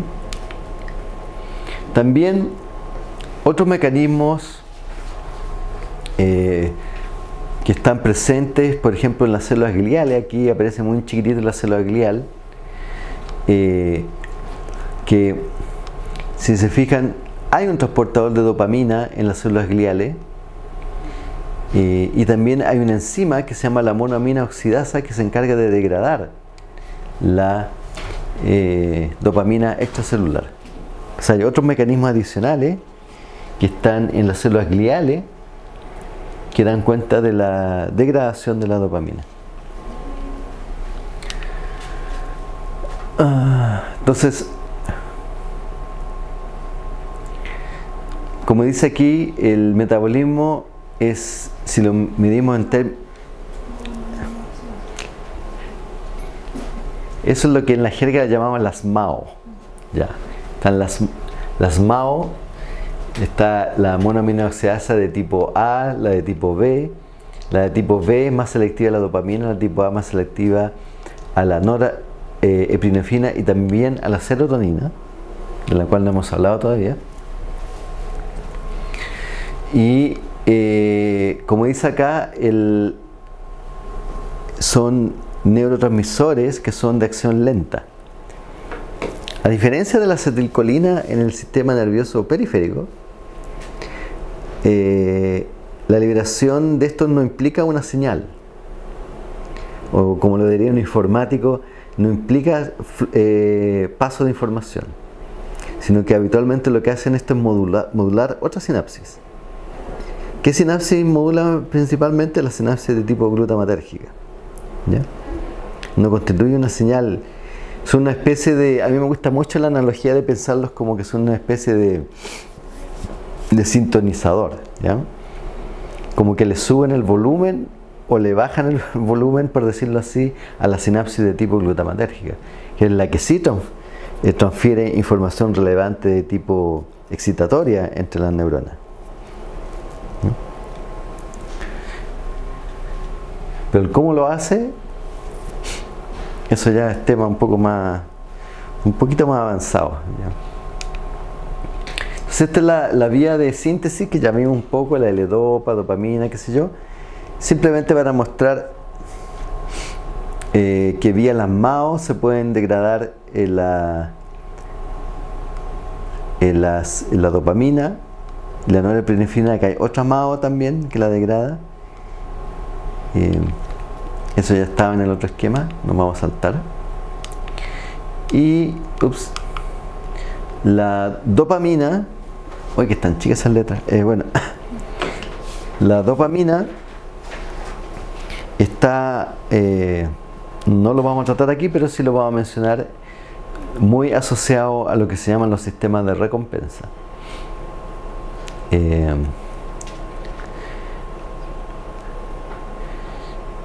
y a la sensación, a la sensación de placer. Por eso es que muchas de, las drogas eh, que generan adicción y actúan sobre el sistema de recompensa son muy adictivas. Por ejemplo, la cocaína, que eh, genera una masiva liberación de, de dopamina. ¿Ya?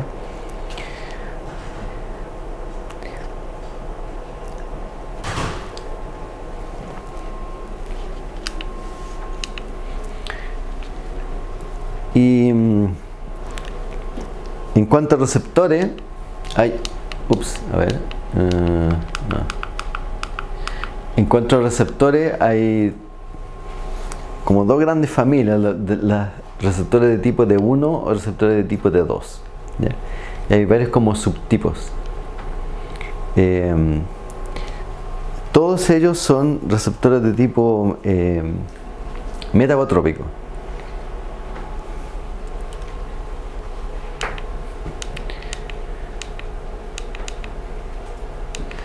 Entonces hay, hay varios eh, sistemas eh, dopaminérgicos que producen dopamina en el cerebro. Uno en la vía hipotálamo a glándula pituitaria o, la que se llama tubero fundibular, que, que algunos han propuesto que tal vez una manera de tratar el Parkinson, eh, no sé si alguien lo ha hecho, pero sería tomar esas neuronas dopaminérgicas de ahí que no son afectadas por el Parkinson y trasplantarla a, por ejemplo, la sustancia negra, que son las neuronas principales que son afectadas por la enfermedad de Parkinson.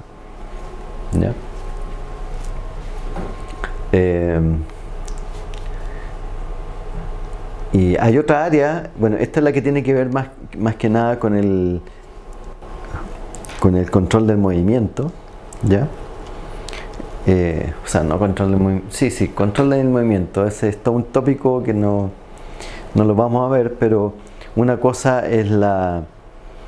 Eh, una cosa es el movimiento propiamente tal, es decir, la secuencia de eventos, y otra es cuando iniciar esa secuencia de eventos. Entonces, cuando hablamos de control de movimiento que tienen que ver los ganglios basales, tenemos que ver con cuando nuestro sistema toma las decisiones apropiadas de iniciar esa secuencia de movimiento.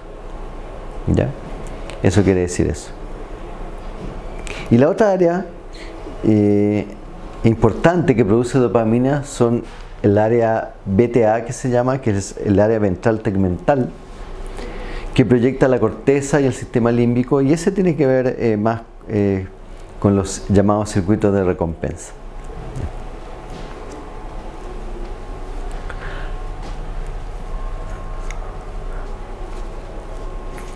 Entonces e, existen tres, a ver, no sé si, bueno, esta es una, caricatura más o menos, eh, no, esta es una, una caricatura más o menos mala porque muestras, eh, no muestra todos los núcleos eh, dopaminérgicos. Ah, esta sí, ese tema.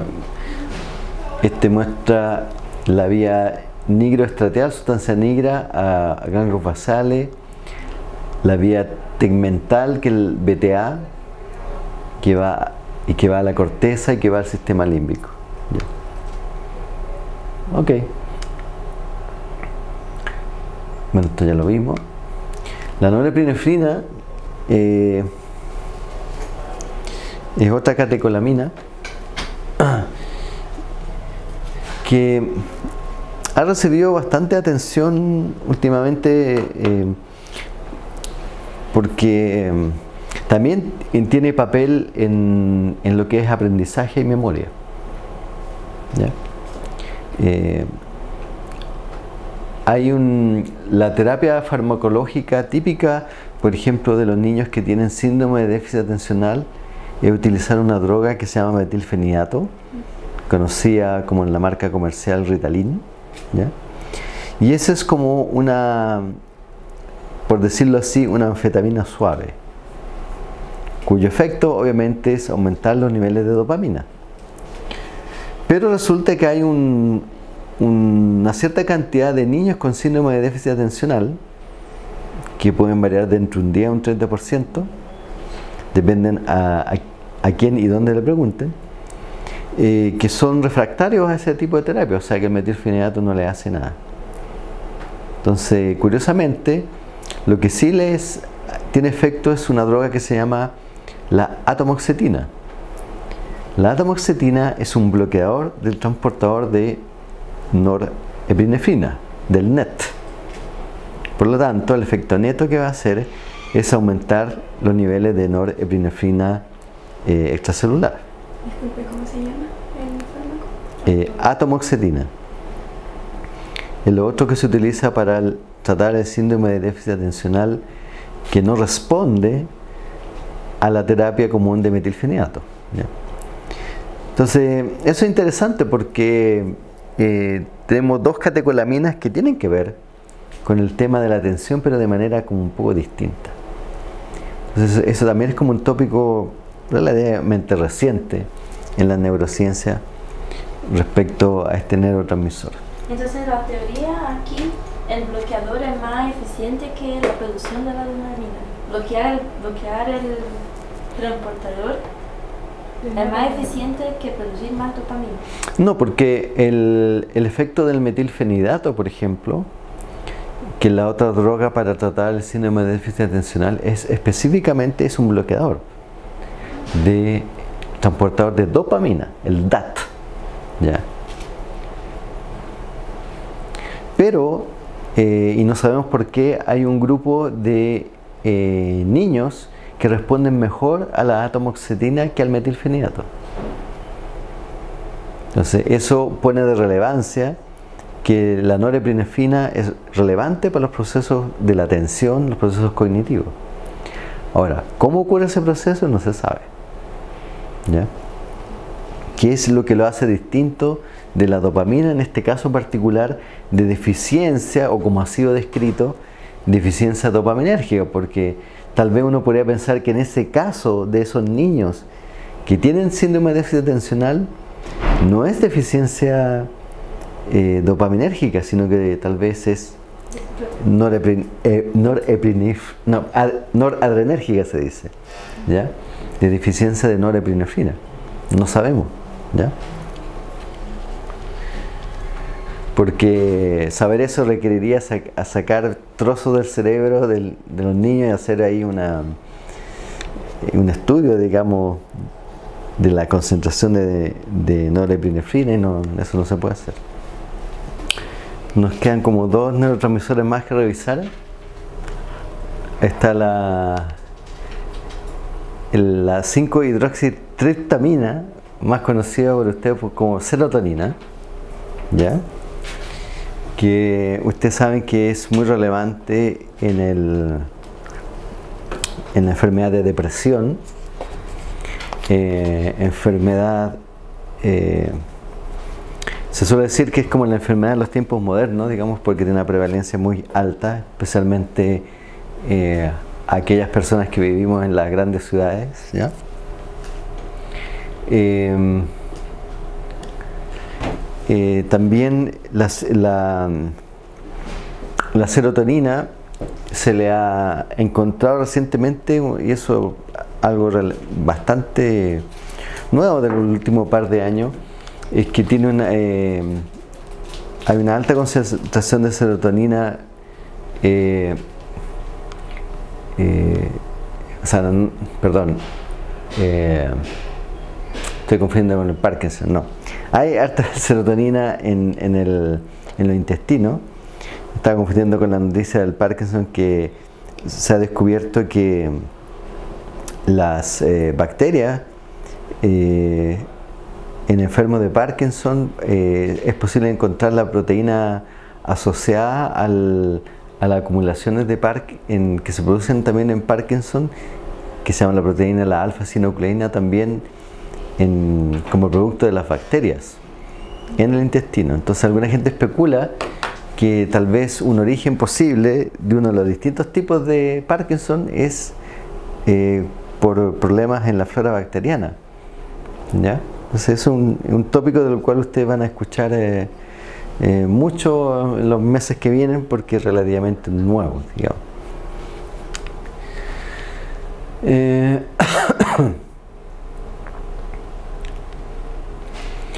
Entonces, como dice ahí, está presente en muchas eh, neuronas de tipo no neuronal, o sea, perdón, en muchas células de tipo no neuronal. No obstante, tiene un, rol muy importante neuromodulador, al igual que los otros que hemos visto, en varias partes del sistema nervioso. Eh, a ver, vamos a saltarnos a eso. Eh, al igual que lo que veíamos un rato, su precursor también el triptófano, y a través de una enzima que se llama el, la, la decarboxilasa aromática, se puede transformar en el 5-hidroxitriptófano en 5-hidroxitriptamina, que es la serotonina. Ahora, hay algo muy interesante que, eh, por ejemplo, eh, volviendo nuevamente al tema del Parkinson, como el Parkinson tiene que ver con la disminución de la dopamina, eh, aparentemente, no hay muchos experimentos así, pero la evidencia clínica sugiere que eh, una, eh, como comparten una vía común de síntesis con la dopamina, la serotonina podría tener como un rol compensatorio de la baja de dopamina. ¿Por qué? Porque comparten una misma vía metabólica. Entonces, eso explicaría la observación clínica que uno de los efectos eh, eh, que pasa en los enfermos de Parkinson es que eh, la mayoría de ellos desarrollan depresión en la etapa más avanzada del Parkinson. Y eso eh, mm, por mucho tiempo fue como ignorado pensando que era depresión netamente gatillada por la, por la condición clínica en la cual estaba sometido el sujeto de perder su autonomía por el hecho de tener Parkinson, de tener eh, problemas de, este trastorno del movimiento y no por un tema fisiológico que es que el organismo trataba de compensar la dopamina faltante eh, haciendo uso de, la, de esta vía de la, de la serotonina y eso producía un déficit de serotonina la cual está asociada a un tipo, el principal tipo de trastorno de depresión que es la disminución de serotonina extracelular. Eh, ahora, ¿cómo ocurre eso? Eso no, no se ha estudiado hasta donde yo sé, a nivel celular ni fisiológico porque son circuitos distintos, son circuitos que funcionan de manera distinta. Entonces sería, eh, son temas como interesantes de estudiar a nivel de la neuromodulación. Entonces, eh, a ver, ups. Entonces, el, un funcionamiento anormal del sistema serotoninérgico ha sido vinculado no solamente a depresión, sino a trastornos del, llamados en general trastornos del ánimo, como desórdenes de, fobias, por ejemplo, eh, eh, trastornos del... Eh, ¿Cómo se llama? Eating disorders, como trastornos de alimentación.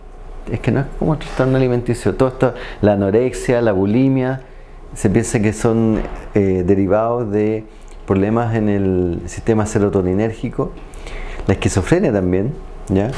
el trastorno obsesivo compulsivo también.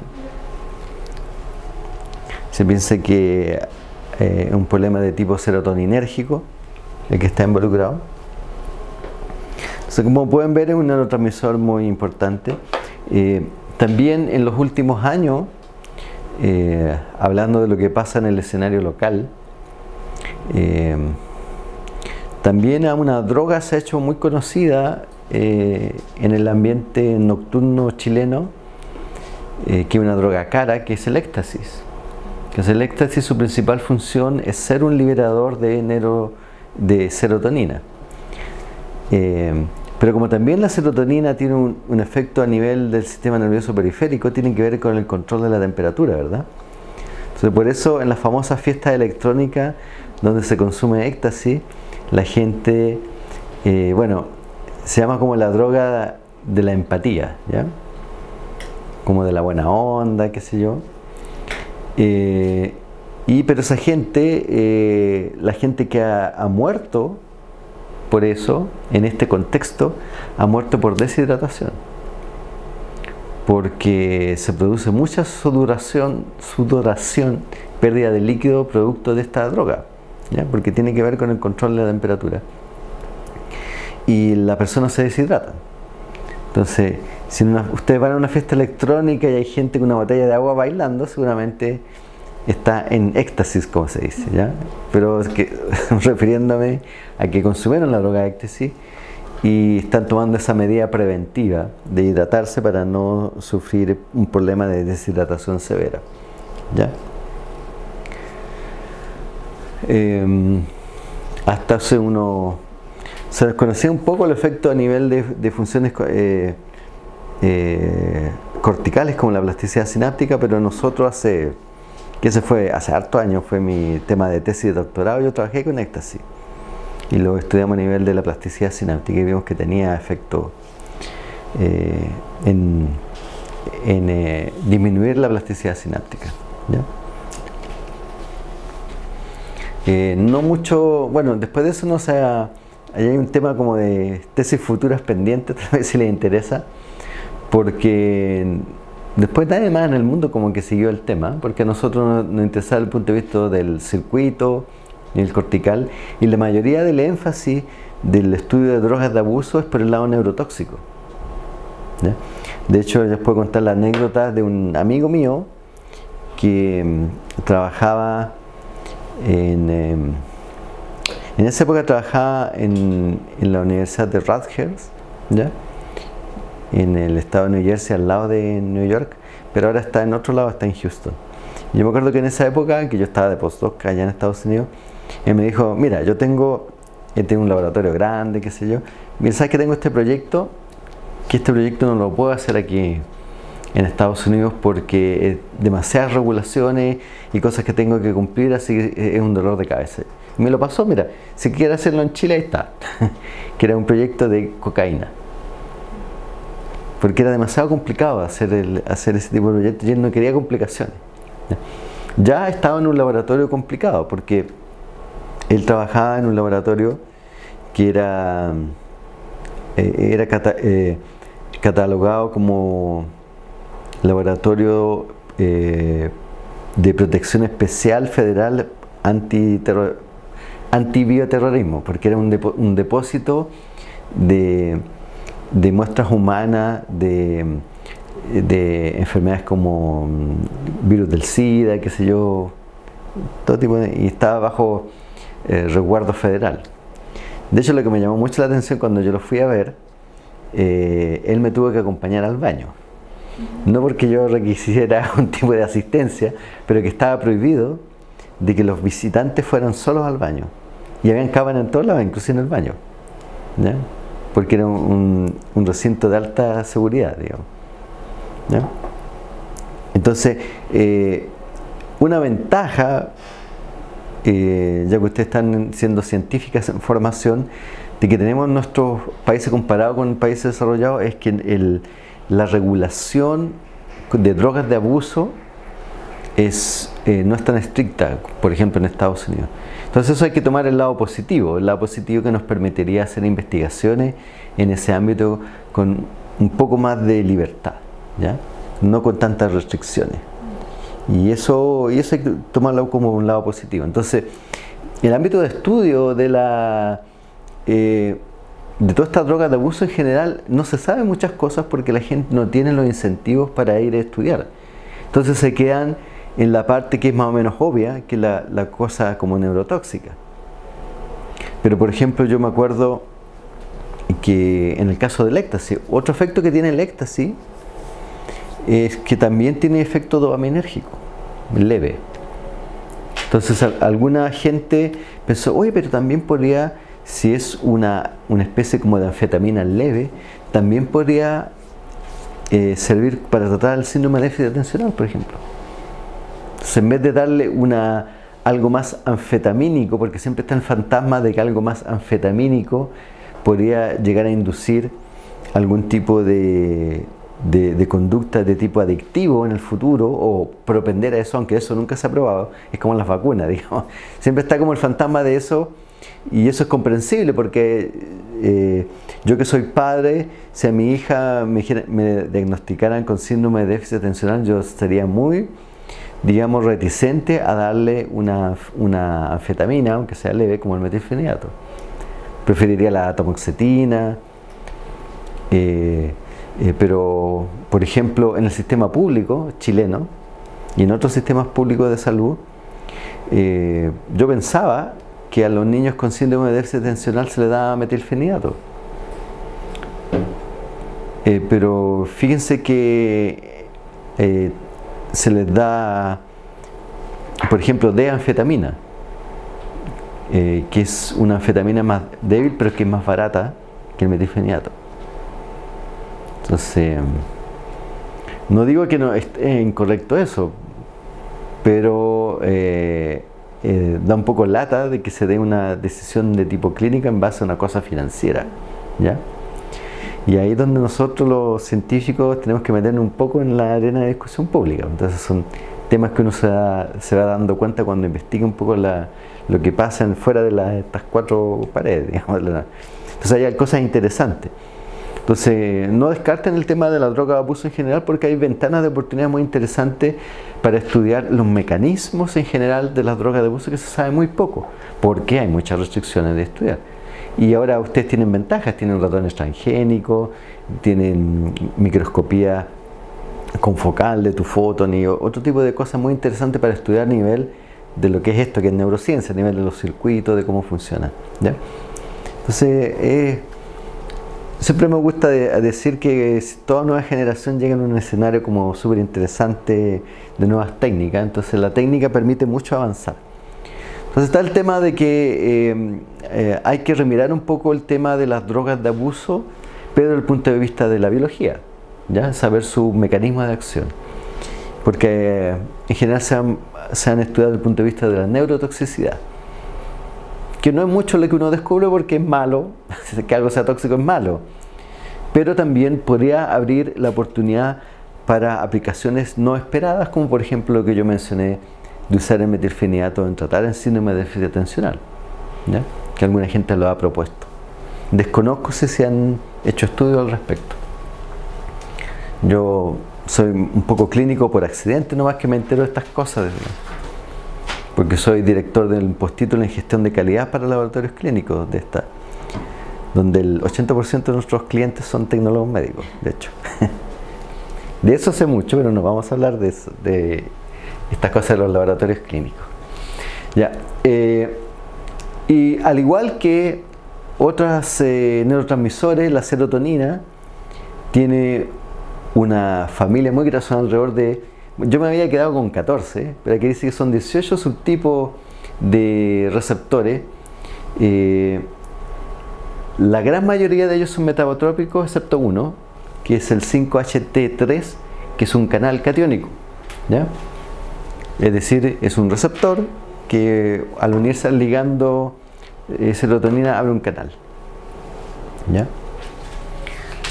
Todo el resto son metabotrópicos.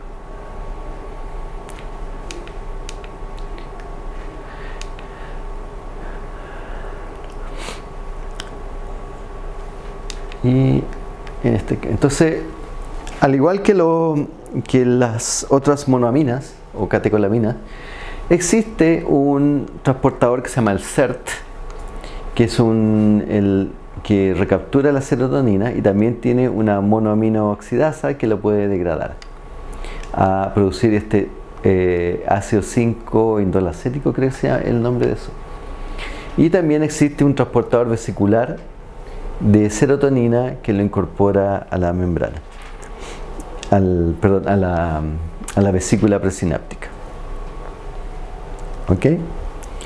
Y. Eh, ¿El transportador y en la neurona Sí. es lo mismo. Sí, el, eh, y habitualmente los eh, antidepresivos, ¿ya? La mayoría de los eh, hay de dos tipos de antidepresivos, como ustedes pueden imaginarse de, acuerdo a ese esquema. Uno son los eh, antidepresivos que son bloqueadores del transportador de serotonina y, y otros que son los inhibidores de la MAO. Entonces, el, efecto neto obviamente es que menos, la serotonina está más tiempo como dando vuelta en el espacio extracelular. ¿No? Y a la misma lado que el. el otro, No, era el, el ot- el otro era la MAO A, me parece que era dopamina y no, norepinefrina, y esta es la MAO B. Y si estoy equivocado es al revés. Estaba como 10 diapos más, o sea, antes de esta. Porque ahí no dice MAO, no, no se dice cuál MAO es. ¿ya? Pero era la- o el- la MAO A o la MAO B. Eh, entonces la, la, mm, la serotonina se genera en unos núcleos que están a nivel del cerebro, del midbrain que se llama, que son los llamados núcleos del RAFE, en lo que es el sistema nervioso central. Y como pueden ver, proyecta eh, prácticamente a todo el sistema nervioso central, así que en ese sentido no es específico por sus proyecciones, pero la especificidad la dan los receptores. Entonces esa es la otra manera en la cual este neurotransmisor puede ejercer su acción específica.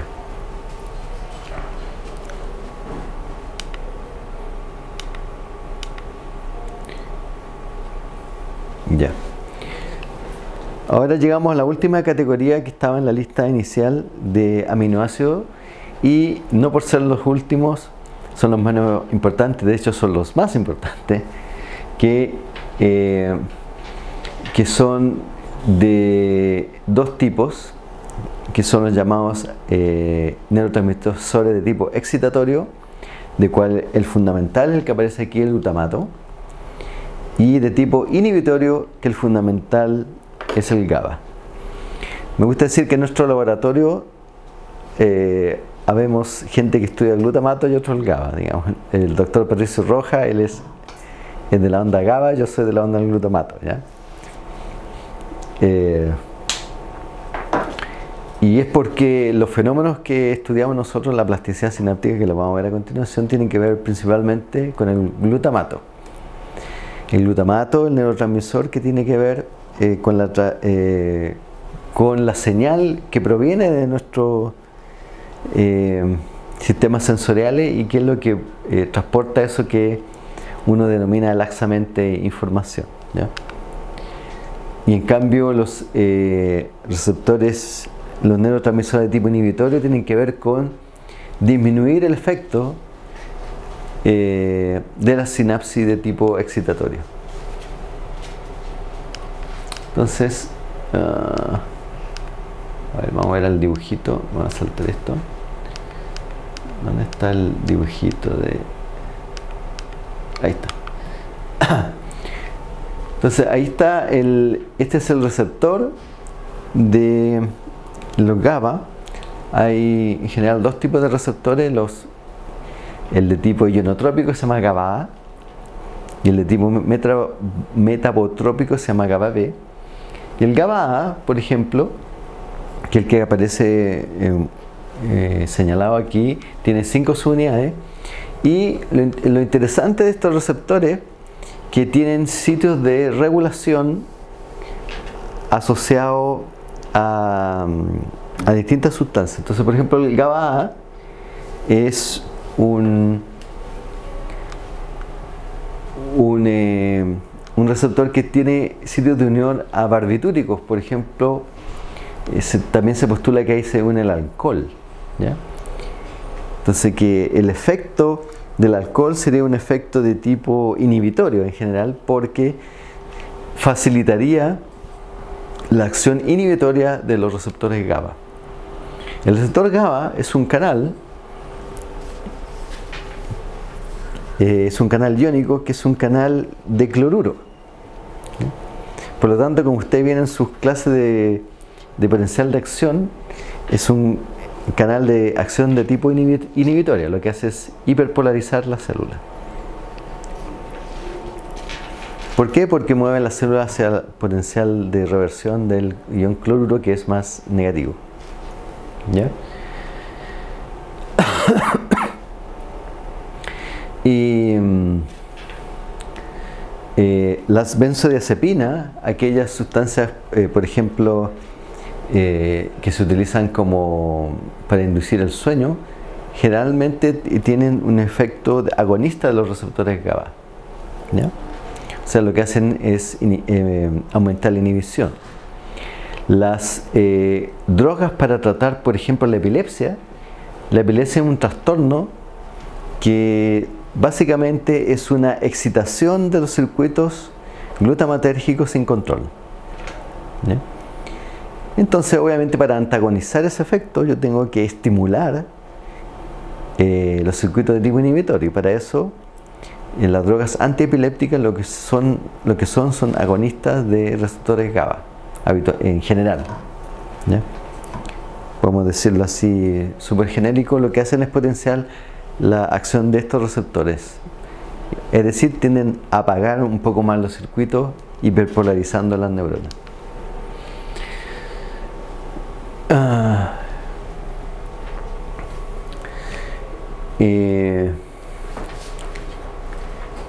Y como lo que hacen es inhibir, eh, tienen un efecto como ansiolítico. Por eso son la, son, tienen sitio de uno de la benzodiazepina. Eh, y como dice acá, eh, habitualmente la gente que, que toma ansiolítico les recomiendan que no lo mezclen con alcohol. Porque eh, resulta que el alcohol tiene un efecto potenciador de la inhibición. Por lo tanto, si tú por un lado estás consumiendo alcohol en exceso y por otro lado un agonista que potencia la acción de los receptores GABA, puede ser eh, hasta tóxico porque te puede producir eh, una inhibición en excesiva de algún circuito cerebral y puedes perder la conciencia, por ejemplo. Eh, literalmente estás como apagando el cerebro, ¿ya? Porque está aumentando la inhibición a un nivel más allá de lo que está diseñada la droga, eh, eh, el fármaco, digamos, para tratar la dolencia en particular que tú tienes. Entonces, si lo, si lo mezclas con alcohol, no es buena idea. Por eso que la gente drogadicta que consume cocaína, por ejemplo, encuentran que es muy agradable consumir alcohol, porque tiene efectos distintos. La cocaína es un estimulante y el alcohol es más un depresor. En cambio, si tú mezclas un depresor con alcohol, eso sí que es una mala mezcla. El glutamato, eh, como dice ahí, está en, altas concentraciones en el cerebro y en las pasas que están consumiendo. El ácido glutámico, el precursor, y eh, es el neuro, si uno contabilizara la sinapsis del sistema nervioso central, eh, no sé, fácil como el 95% de las sinapsis son glutamatérgicas. Todas sinapsis de tipo cortical son glutamatérgicas y, y los, lo que hacen la, gran mayoría de los neurotransmisores que hemos visto anterior es modular esta otra sinapsis. Es decir, tienen efecto sobre la transmisión glutamatérgica. Eh, hay una enzima que comparten en común con el GABA, que a ver, creo que en la, esta, que es la glutamato descarboxilasa, que puede transformar el glutamato en GABA, ¿ya? que se llama la, la GAT.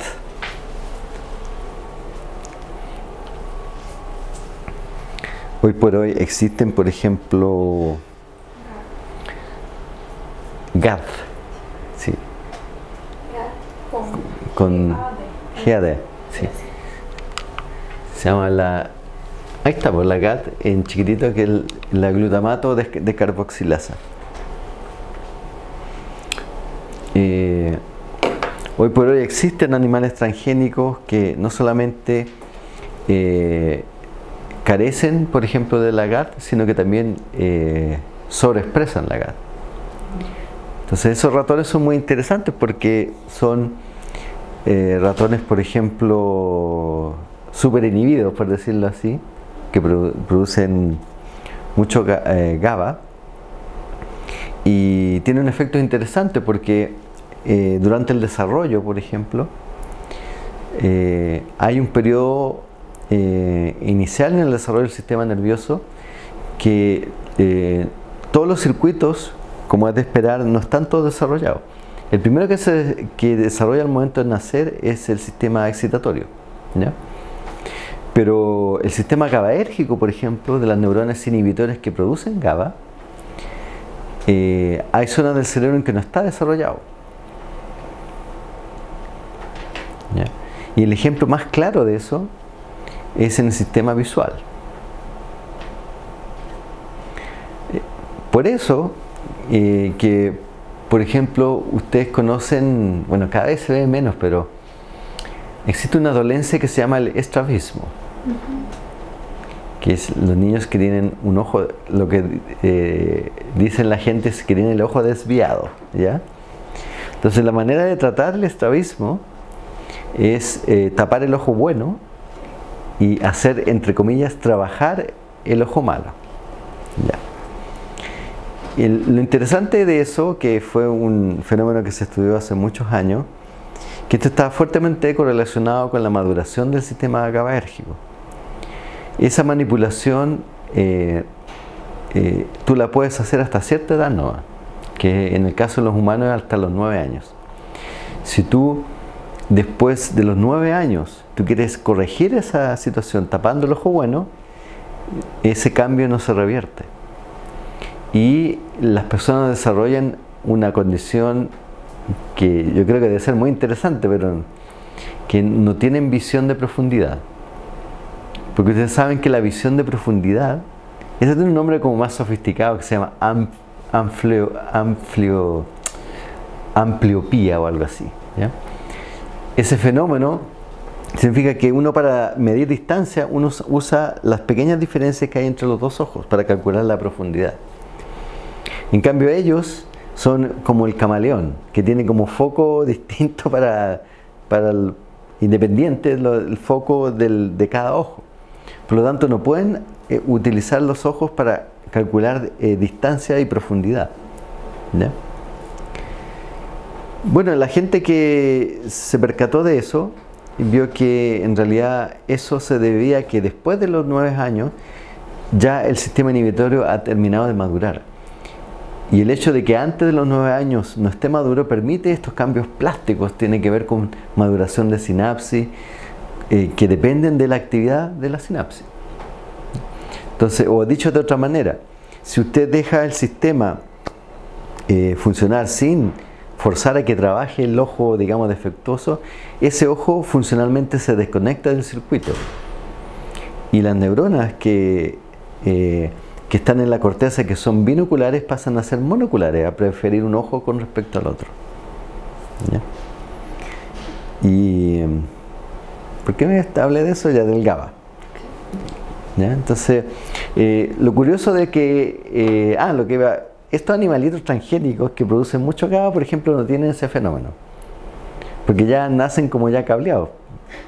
Pero ya tienen todo el GABA que quieren, entonces no son plásticos.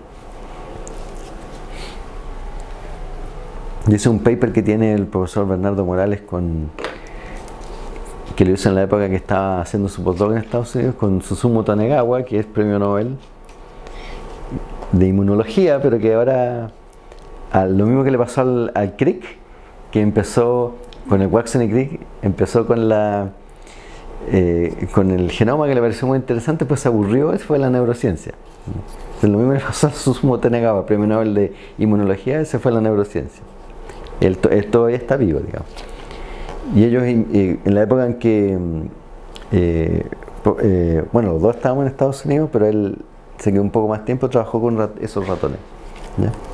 Y publicaron, publicaron paper, por eso es lo que hacemos nosotros. ya, bueno.